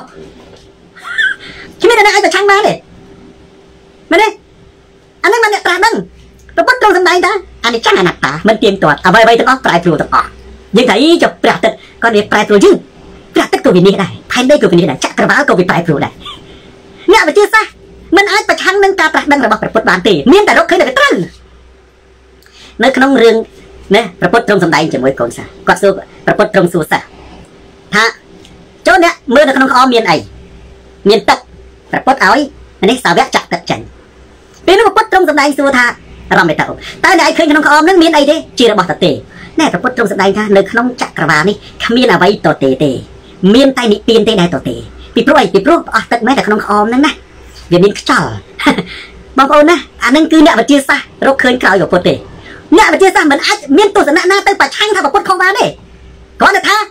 ត្រូវអាហ្នឹងហេតុអីអាបងប្អូនលើបតោកសរោមើលរបស់មួយដែលចេញវាត្រូវមានរបស់មួយដែលចូលចំនួនឧទាហរណ៍ថាទឹកក្នុងដបបើវាចេញមកតំណាក់ខ្យល់វាត្រូវចូលមកតំណាក់ បើទឹកចេញកន្លះដបខ្យល់វាត្រូវចូលទឹកចេញកន្លះលីត្រខ្យល់វាត្រូវចូលកន្លះលីត្រទៅវិញចំនួនអាទឹកដែលបាត់បង់បើអត់ទេអាហ្នឹងវាផត់វាផត់ជាពិសេសបតោកសរោមឧទាហរណ៍ច្បាស់មួយណែបងប្អូនបតោកសរោមបងប្អូនយកសរោមទៅចាក់ចូលទៅក្នុងដៃយើងណាដើមសរោមមកធ្លាក់ទេមិនព្រោះវាចូលក៏វាអត់មានអីចូលបើសរោមធ្លាក់មកតំណក់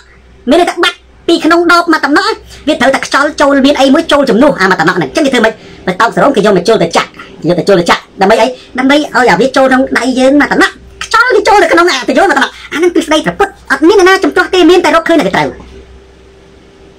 រកឃើញតែត្រូវហ្នឹងណាឥឡូវយើងមើលកម្មស្រាខ្ញុំចំទាស់បានមកកកហ្នឹងឬឯងឯងត្រាស់ហ្នឹងបើខ្ញុំចំទាស់បានមកកកទីមួយកម្មស្រាគាត់និយាយថាអ្នកនេះគេថាខ្ញុំស្គួតមើលមេឃមើលផ្កាយគេថាធម្មតាអ្នកហាលស្រូវគេត្រូវតែមើលមេឃមើលផ្កាយចឹងហើយខ្ញុំថាអានឹងសម័យមុនសម័យលើគេមើលទូរស័ព្ទទៅគេមើលទូរស័ព្ទគេដឹងថាមេឃហ្នឹងវាឆ្លាស់ឬក៏អត់ឆ្លាស់អាខ្ញុំនិយាយត្រូវបាត់ហើយតែនេះខ្ញុំចំទាស់បាន ខ្ញុំតែខ្ញុំអត់ចំទាស់ប្រពុតបានខ្ញុំចំទាស់បានចំទាស់វាអត់កើតខ្ញុំចំទាស់បានក៏អត់មានតំងន់ប៉ុន្តែការចំទាស់របស់ខ្ញុំចំពោះកម្មស្រាមានតំងន់ណាហើយពិតទៅទៀតកម្មស្រាក៏ថាអូព្រោះលោកខែបានឆាត់បងប្អូនញូតុនក៏រកឃើញថា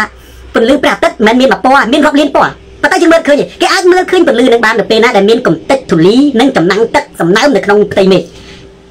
ពន្លឺនៅពេលណាវាប៉ះសំណើមនៅក្នុងផ្ទៃមេឃវាផ្លាតចេញជាពន្លឺ អញ្ចឹងលោកខែបាំងឆាត់អាព្រះអាទិត្យបាំងឆាត់អីហ្នឹងវាដោយសារតែនៅក្នុងលំហលើមេឃហ្នឹងវាកំតិចទឹកប៉ះជាមួយនឹង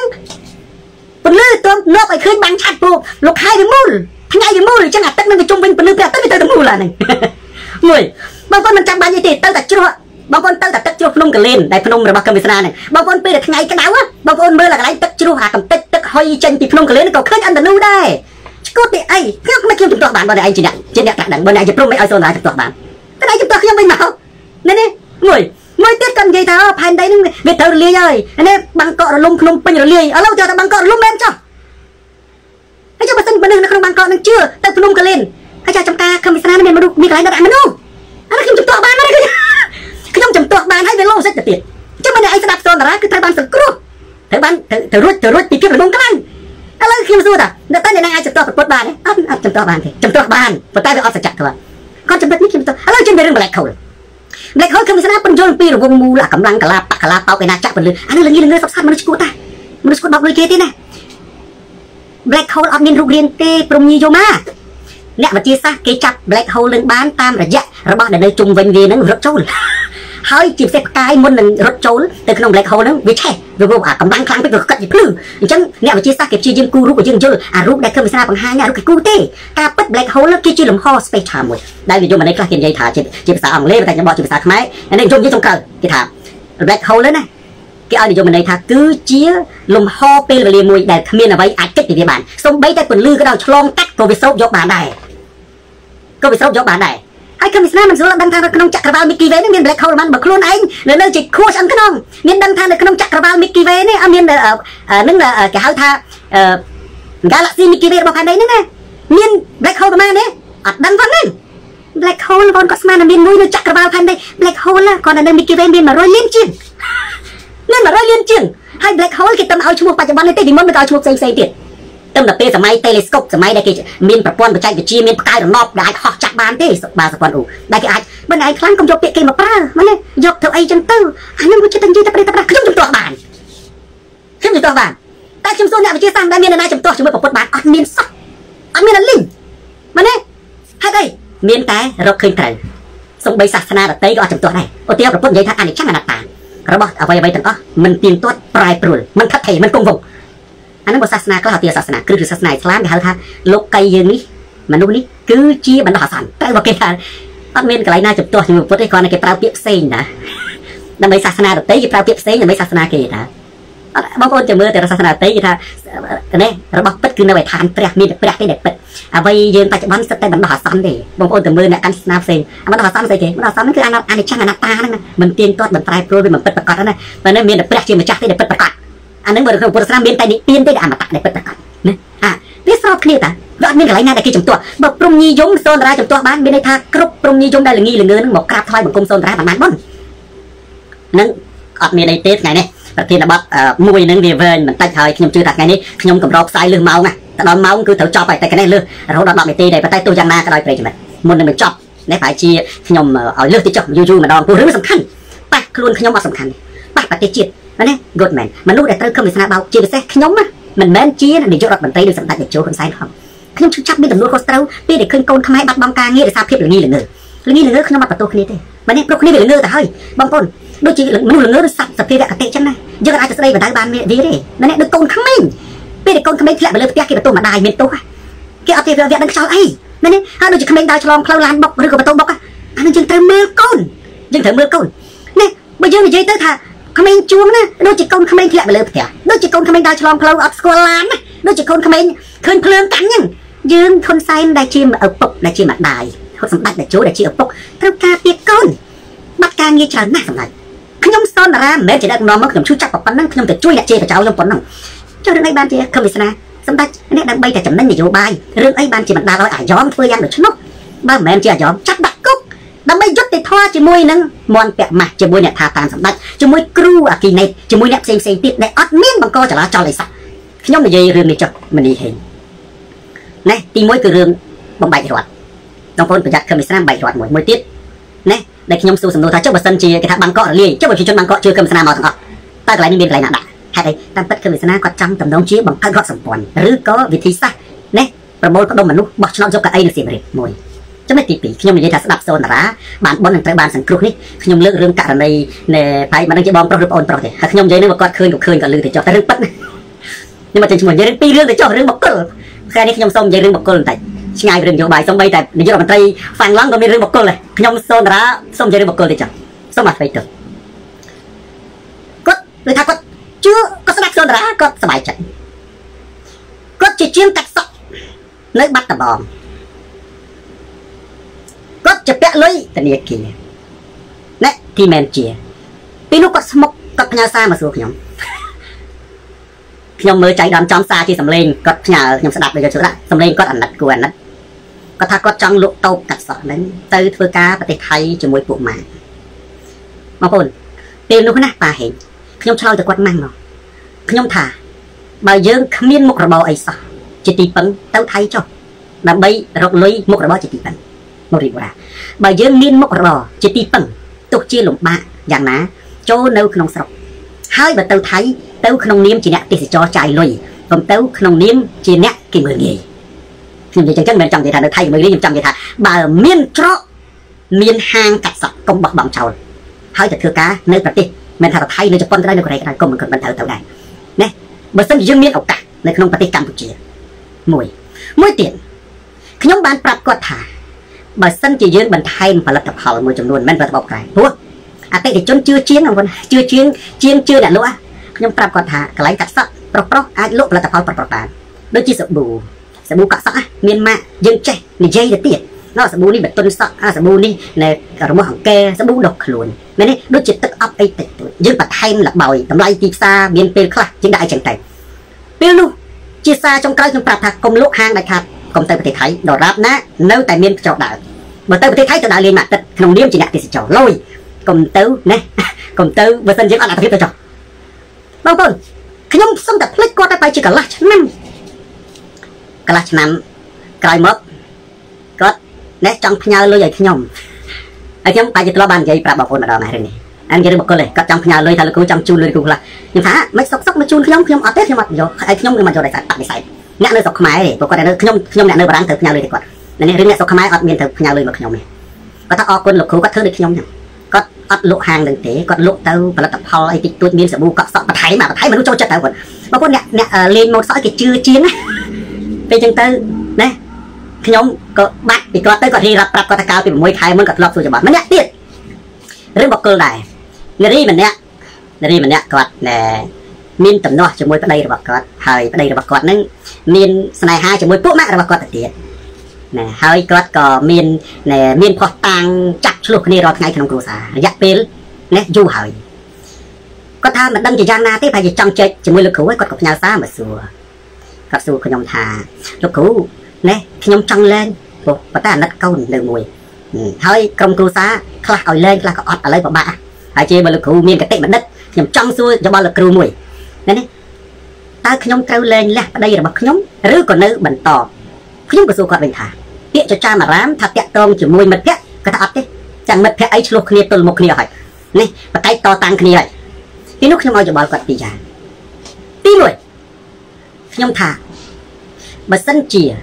យើងរស់នៅជាមួយគ្នា មានតែដំបៅក្នុងទ្រូងឈឺចុកចាប់ចូលចាក់ចេញចែកផ្លូវគ្នាទៅពីព្រោះការចែកផ្លូវវាឈឺមួយផ្លែតទេពេលវេលានឹងព្យាបាលយើងបើយើងមិនចែកផ្លូវគឺវាឈឺ កាន់តែធ្ងន់ទៅធ្ងន់ទៅអាចនៅថ្ងៃណាមួយគិតខ្លីសម្រាប់ខ្លួនក៏បានច្រកទី1ច្រកទី2គឺទៅនិយាយគ្នាឲ្យច្បាស់និងឲ្យមានជំរឿថាតើជ្រើសយកអ្នកណាឲ្យពិតប្រាកដនិងផ្ដល់ឱកាសឲ្យកែខ្លួនឧទាហរណ៍ថារយៈពេល3ខែ6ខែហើយយើងតាមបានបើសិនជាគាត់សម្រេចចិត្តថាជ្រើសរើសយកយើងលះបង់ណាសង្សារចោលហើយកែខ្លួនល្អអានឹងយើងត្រូវតែផ្ដល់ឱកាសឲ្យក្នុងរយៈពេល3ខែ4ខែ6ខែវាហុចផលឲ្យ វាបាត់វានាំឲ្យគ្រួសារនឹងលែងមានបញ្ហារកម្មរកុសសុភមង្គលយើងនេះកុំបោះបង់ចោលកុំលែងលះអីហេតុអីបងប្អូននេះជំរឿទី1ក៏ដោយជំរឿទី2ក៏ដោយហេតុបានខ្ញុំផ្ដល់យោបល់គាត់នៅក្នុងជំរឿទី2ពីព្រោះមនុស្សយើងត្រូវចេះផ្ដល់ឱកាសចុងក្រោយទោះបីជាអ្នកនោះសាហាវប៉ុណ្ណាក៏ដោយសូម្បីតែគុកមិនមែនយកមនុស្សទៅផ្ដំជាទោសនឹងយកមនុស្សទៅផ្ដល់ឱកាសដែរហេតុអីបានថាចឹងបងប្អូនមើលនៅក្នុងពុទ្ធសាសនាមែនទេព្រះពុទ្ធសូម្បីតែអង្គលីមារហូតដេញកាប់សម្លាប់ម្ដាយក៏ត្រូវតែផ្ដល់ឱកាសចុងក្រោយឲ្យដែរអង្គលីមាណាសូម្បីតែទេវទត្តដែលតាមប្រចាំងប្រពុតរហូតដល់ទីបញ្ចប់ក៏ប្រពុតត្រូវតែផ្ដល់ពេលវេលា ណាគេហៅថាសង្គ្រោះតាមរយៈការបួសដែរប្រុសក៏ដោយស្រីក៏ដោយណានេះត្រូវចេះផ្ដល់ពេលវេលាឲ្យមនុស្សជាលើកចុងក្រោយ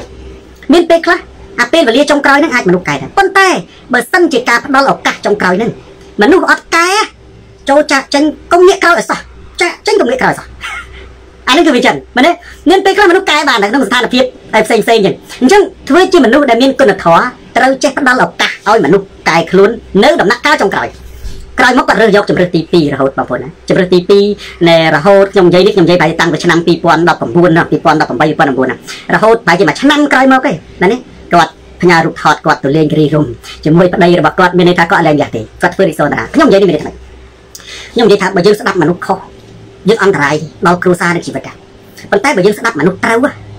គឺយើងចម្រុងចម្រើនការចម្រុងចម្រើនការយល់ត្រូវរបស់មនុស្ស គឺធ្វើឲ្យយើងកើតសេចក្តីសុខសុភមង្គលសម្រាប់ខ្លួនយើងផងសម្រាប់គ្រួសារផងសម្រាប់សង្គមជាតិផងអញ្ចឹងបានខ្ញុំថាបើសិនជាខឹមវាសនាគាត់គឺជាអ្នកត្រាស់ដឹងកុំឲ្យសូនតារាផ្ចាញ់បានដោយប្រពុតហើយមួយទៀតបើអ្នកឯងត្រាស់ដឹងកុំទៅហាមកូនចៅជួងមិនឲ្យស្ដាប់សូនតារាមែនទេត្រូវទទួលយកការផ្ចាញ់ផ្ចាល់ហើយបងប្អូនប្រពុតហៅមាផ្ចាញ់មាផ្ចាញ់មានន័យថានៅក្នុងសម័យពុទ្ធកាលមនុស្សដើរតែផ្ចាញ់ប្រពុតអ្នកផ្ចាញ់ប្រពុតមិនមែនត្រឹមតែមាទេគឺពួកអ្នកប្រាជ្ញព្រំបាញ់សាសនាធំធំមើលសាសនាធំធំ នៅក្នុងរឿងពុទ្ធសាសនាដូចជានៃប្រកាសបៈហ្នឹងគឺជាមេនិកាយសាសនាព្រហ្មញ្ញសាសនាធំណាដែលទៅផ្ចាញ់ប្រពុតប្រពុតកម្មសាសនាណាខ្ញុំនឹងហោះទៅស្រុកខ្មែរបើហ៊ានបើកវេទិកា3 3ម៉ោង4ម៉ោងដាក់នៅក្នុងផ្សាយផ្ទាល់ក្នុងទូរស័ព្ទណានៅចំការរបស់គាត់ក៏ដោយហើយចចេតវេញែកដេញដោលរាល់គ្រប់ទស្សនៈធ្វើម៉េចនិយាយកុំឲ្យខ្ញុំបើកឲ្យណៃចាញ់ខ្ញុំប៉ុន្តែខាញ់ខ្ញុំបាននេះមិនណៃចាញ់បានតែអត់សិទ្ធិភាពតែខ្ញុំចាញ់ណៃបានហើយពួកណៃបោកណៃមិនប្រពុតណៃមិនអ្នកត្រាស់ដឹងបើណៃឯងត្រាស់ដឹងណា ខ្ញុំចាញ់បានទេតែខ្ញុំលើកឧទាហរណ៍មួយប្រពុតក្នុងសម្ដែងនេះថាអនិច្ចំអនត្តាគ្មាននរណាអាចចាញ់បានទេមែនទេហើយឥឡូវកម្មវិស្នាគាត់និយាយថាចង់ហៅស្រូវឲ្យមើលមេឃអានឹងសម័យមុនសម័យឥឡូវគេមើលទូរស័ព្ទមែនទេអ black hole black hole មិនមានតែមួយទេនៅលើក្នុងឱកាសមានរាប់ពាន់លាន black hole មិនមានតែមួយទេគួរចឹងក្នុងវិទ្យាណាអទី3មកនៅបាងកករលំភ្នំពេញរលាយហើយចាំបើសិនប្រជាជននៅក្នុងបាងកកគេជឿកម្មវិស្នានាំគ្នាសម្រាប់ទៅចំការតើមានកន្លែងណាដាក់ ចេះតែនិយាយតែប្តេតែផ្ដាខ្ញុំចាញ់បានដល់ឡូសិកអាហ្នឹងណាមានន័យថាអត់ឡូសិកចឹងមានន័យថាមានន័យថាអ្នកឯងបោកគេដើម្បីផលប្រយោជន៍បើមិនឯងមិនបោកគេឈួតទៅយកទៅពេទ្យចឹងលក្ខណៈនេះសរុបសេចក្តីមកណាខ្ញុំខ្ញុំសំណូមពរនិងអំពាវនាវឲ្យអាជ្ញាធរច្បាប់រាជអាជ្ញាចាត់វិធានការទៅតាមផ្លូវច្បាប់ពិតប្រាកដពីបទញុះញង់ហើយខ្ញុំជឿជាក់ថាគំវាសនានឹងចូលគុកអានេះជាជំនឿរបស់ខ្ញុំព្រោះខ្ញុំជឿថាហ៊ុនសែនក៏គាត់មានយុត្តិធម៌ខ្លះដែរនៅក្នុងចិត្តគាត់នឹងចូលគុកដើម្បីជាការប្រមាននិងជាការជួយសង្គ្រោះមនុស្សមួយចំនួនដែលបាត់បង់ការងារ ហើយបើមិនដូច្នោះខ្ញុំស្នើនេះខ្ញុំសំណូមពរឲ្យមេដាបៃតាឬក៏គ្រួសាររបស់ពលករដែលបានចាក់ចេញបាត់បង់ការងារគ្មានលុយសងធនាគារបាត់បង់ការខូចខាតដាក់ពាក្យប្តឹងទៅតុលាការឲ្យខឹមវាសនាទទួលខុសត្រូវសំណងទៅលើការញុះញង់ទាំងអស់ហ្នឹងពីព្រោះអត់មានទឹកឯណាលិចទេអត់មានទឹកឯណាមកលិចពិភពលោកអីទេបងប្អូនខ្ញុំនិយាយចុងក្រោយទៅចុះរឿងនេះណាអត់ចាំបាច់ព្រមត្រាស់ដឹងអីទេនៅសុកបារាំងគេរាប់រន្ទះបានគេរាប់ភ្នែកបន្ទូលខ្ញុំនិយាយអ្នកសុកបារាំងដឹងណា បងប្អូននៅសុកបារាំងគេរាប់ភ្នែកបន្ទូលប្រហែលប្រហែល50ម៉ឺនមុនគេថា50000ខ្មែរមេតាគេថាអូអាភ្នែកបន្ទូលព្រិកព្រិកព្រិកព្រិកហ្នឹងគេមិនមែនត្រឹមតែដឹងមុនទេជាកតោនិយមបច្ចុប្បន្ននេះគេរាប់បានទៀតមែនទេគេរាប់បានទៀត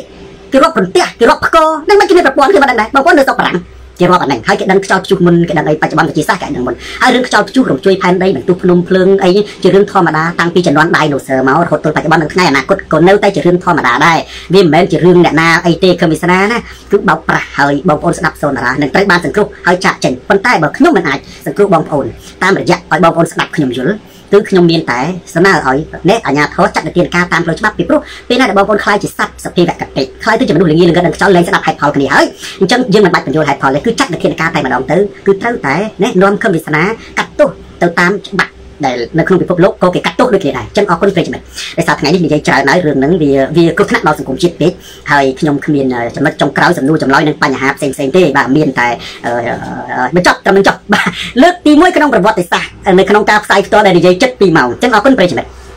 ដែលបានតាមដានទស្សនាការផ្សាយផ្ទាល់នេះតាំងពីដើមរហូតដល់ចប់ share វីដេអូនេះទៅកាន់ប្រិយមិត្តដទៃទៀត ទូរទស្សន៍សូនតារាទៅដល់ទីណាសូមបិណ្ឌសូការផ្លាស់ប្ដូរផ្នត់កំណត់ទៅដល់ទីនោះការផ្លាស់ប្ដូរផ្នត់កំណត់ទៅដល់ទីណាការយល់ដឹងទៅដល់ទីនោះការយល់ដឹងទៅដល់ទីណាហ៊ុនសែនចប់ទៅដល់ទីនោះស្ដាប់សូនតារាកើនបញ្ញាស្ដាប់ច្រើនកាលណាដឹងការពិតស្ដាប់ហ៊ុនសែនកើតរោគចិត្តទូរទស្សន៍សូនតារាស្រាប់ខោជនផ្ដាច់ការផ្លាស់ប្ដូរផ្នត់កំណត់យើងជួបគ្នាសាជាថ្មីម្ដងទៀតនៅថ្ងៃក្រោយតាមពេលវេលានឹងម៉ោងដដែលសូមអរគុណសូមជម្រាបលារាត្រីសួស្ដី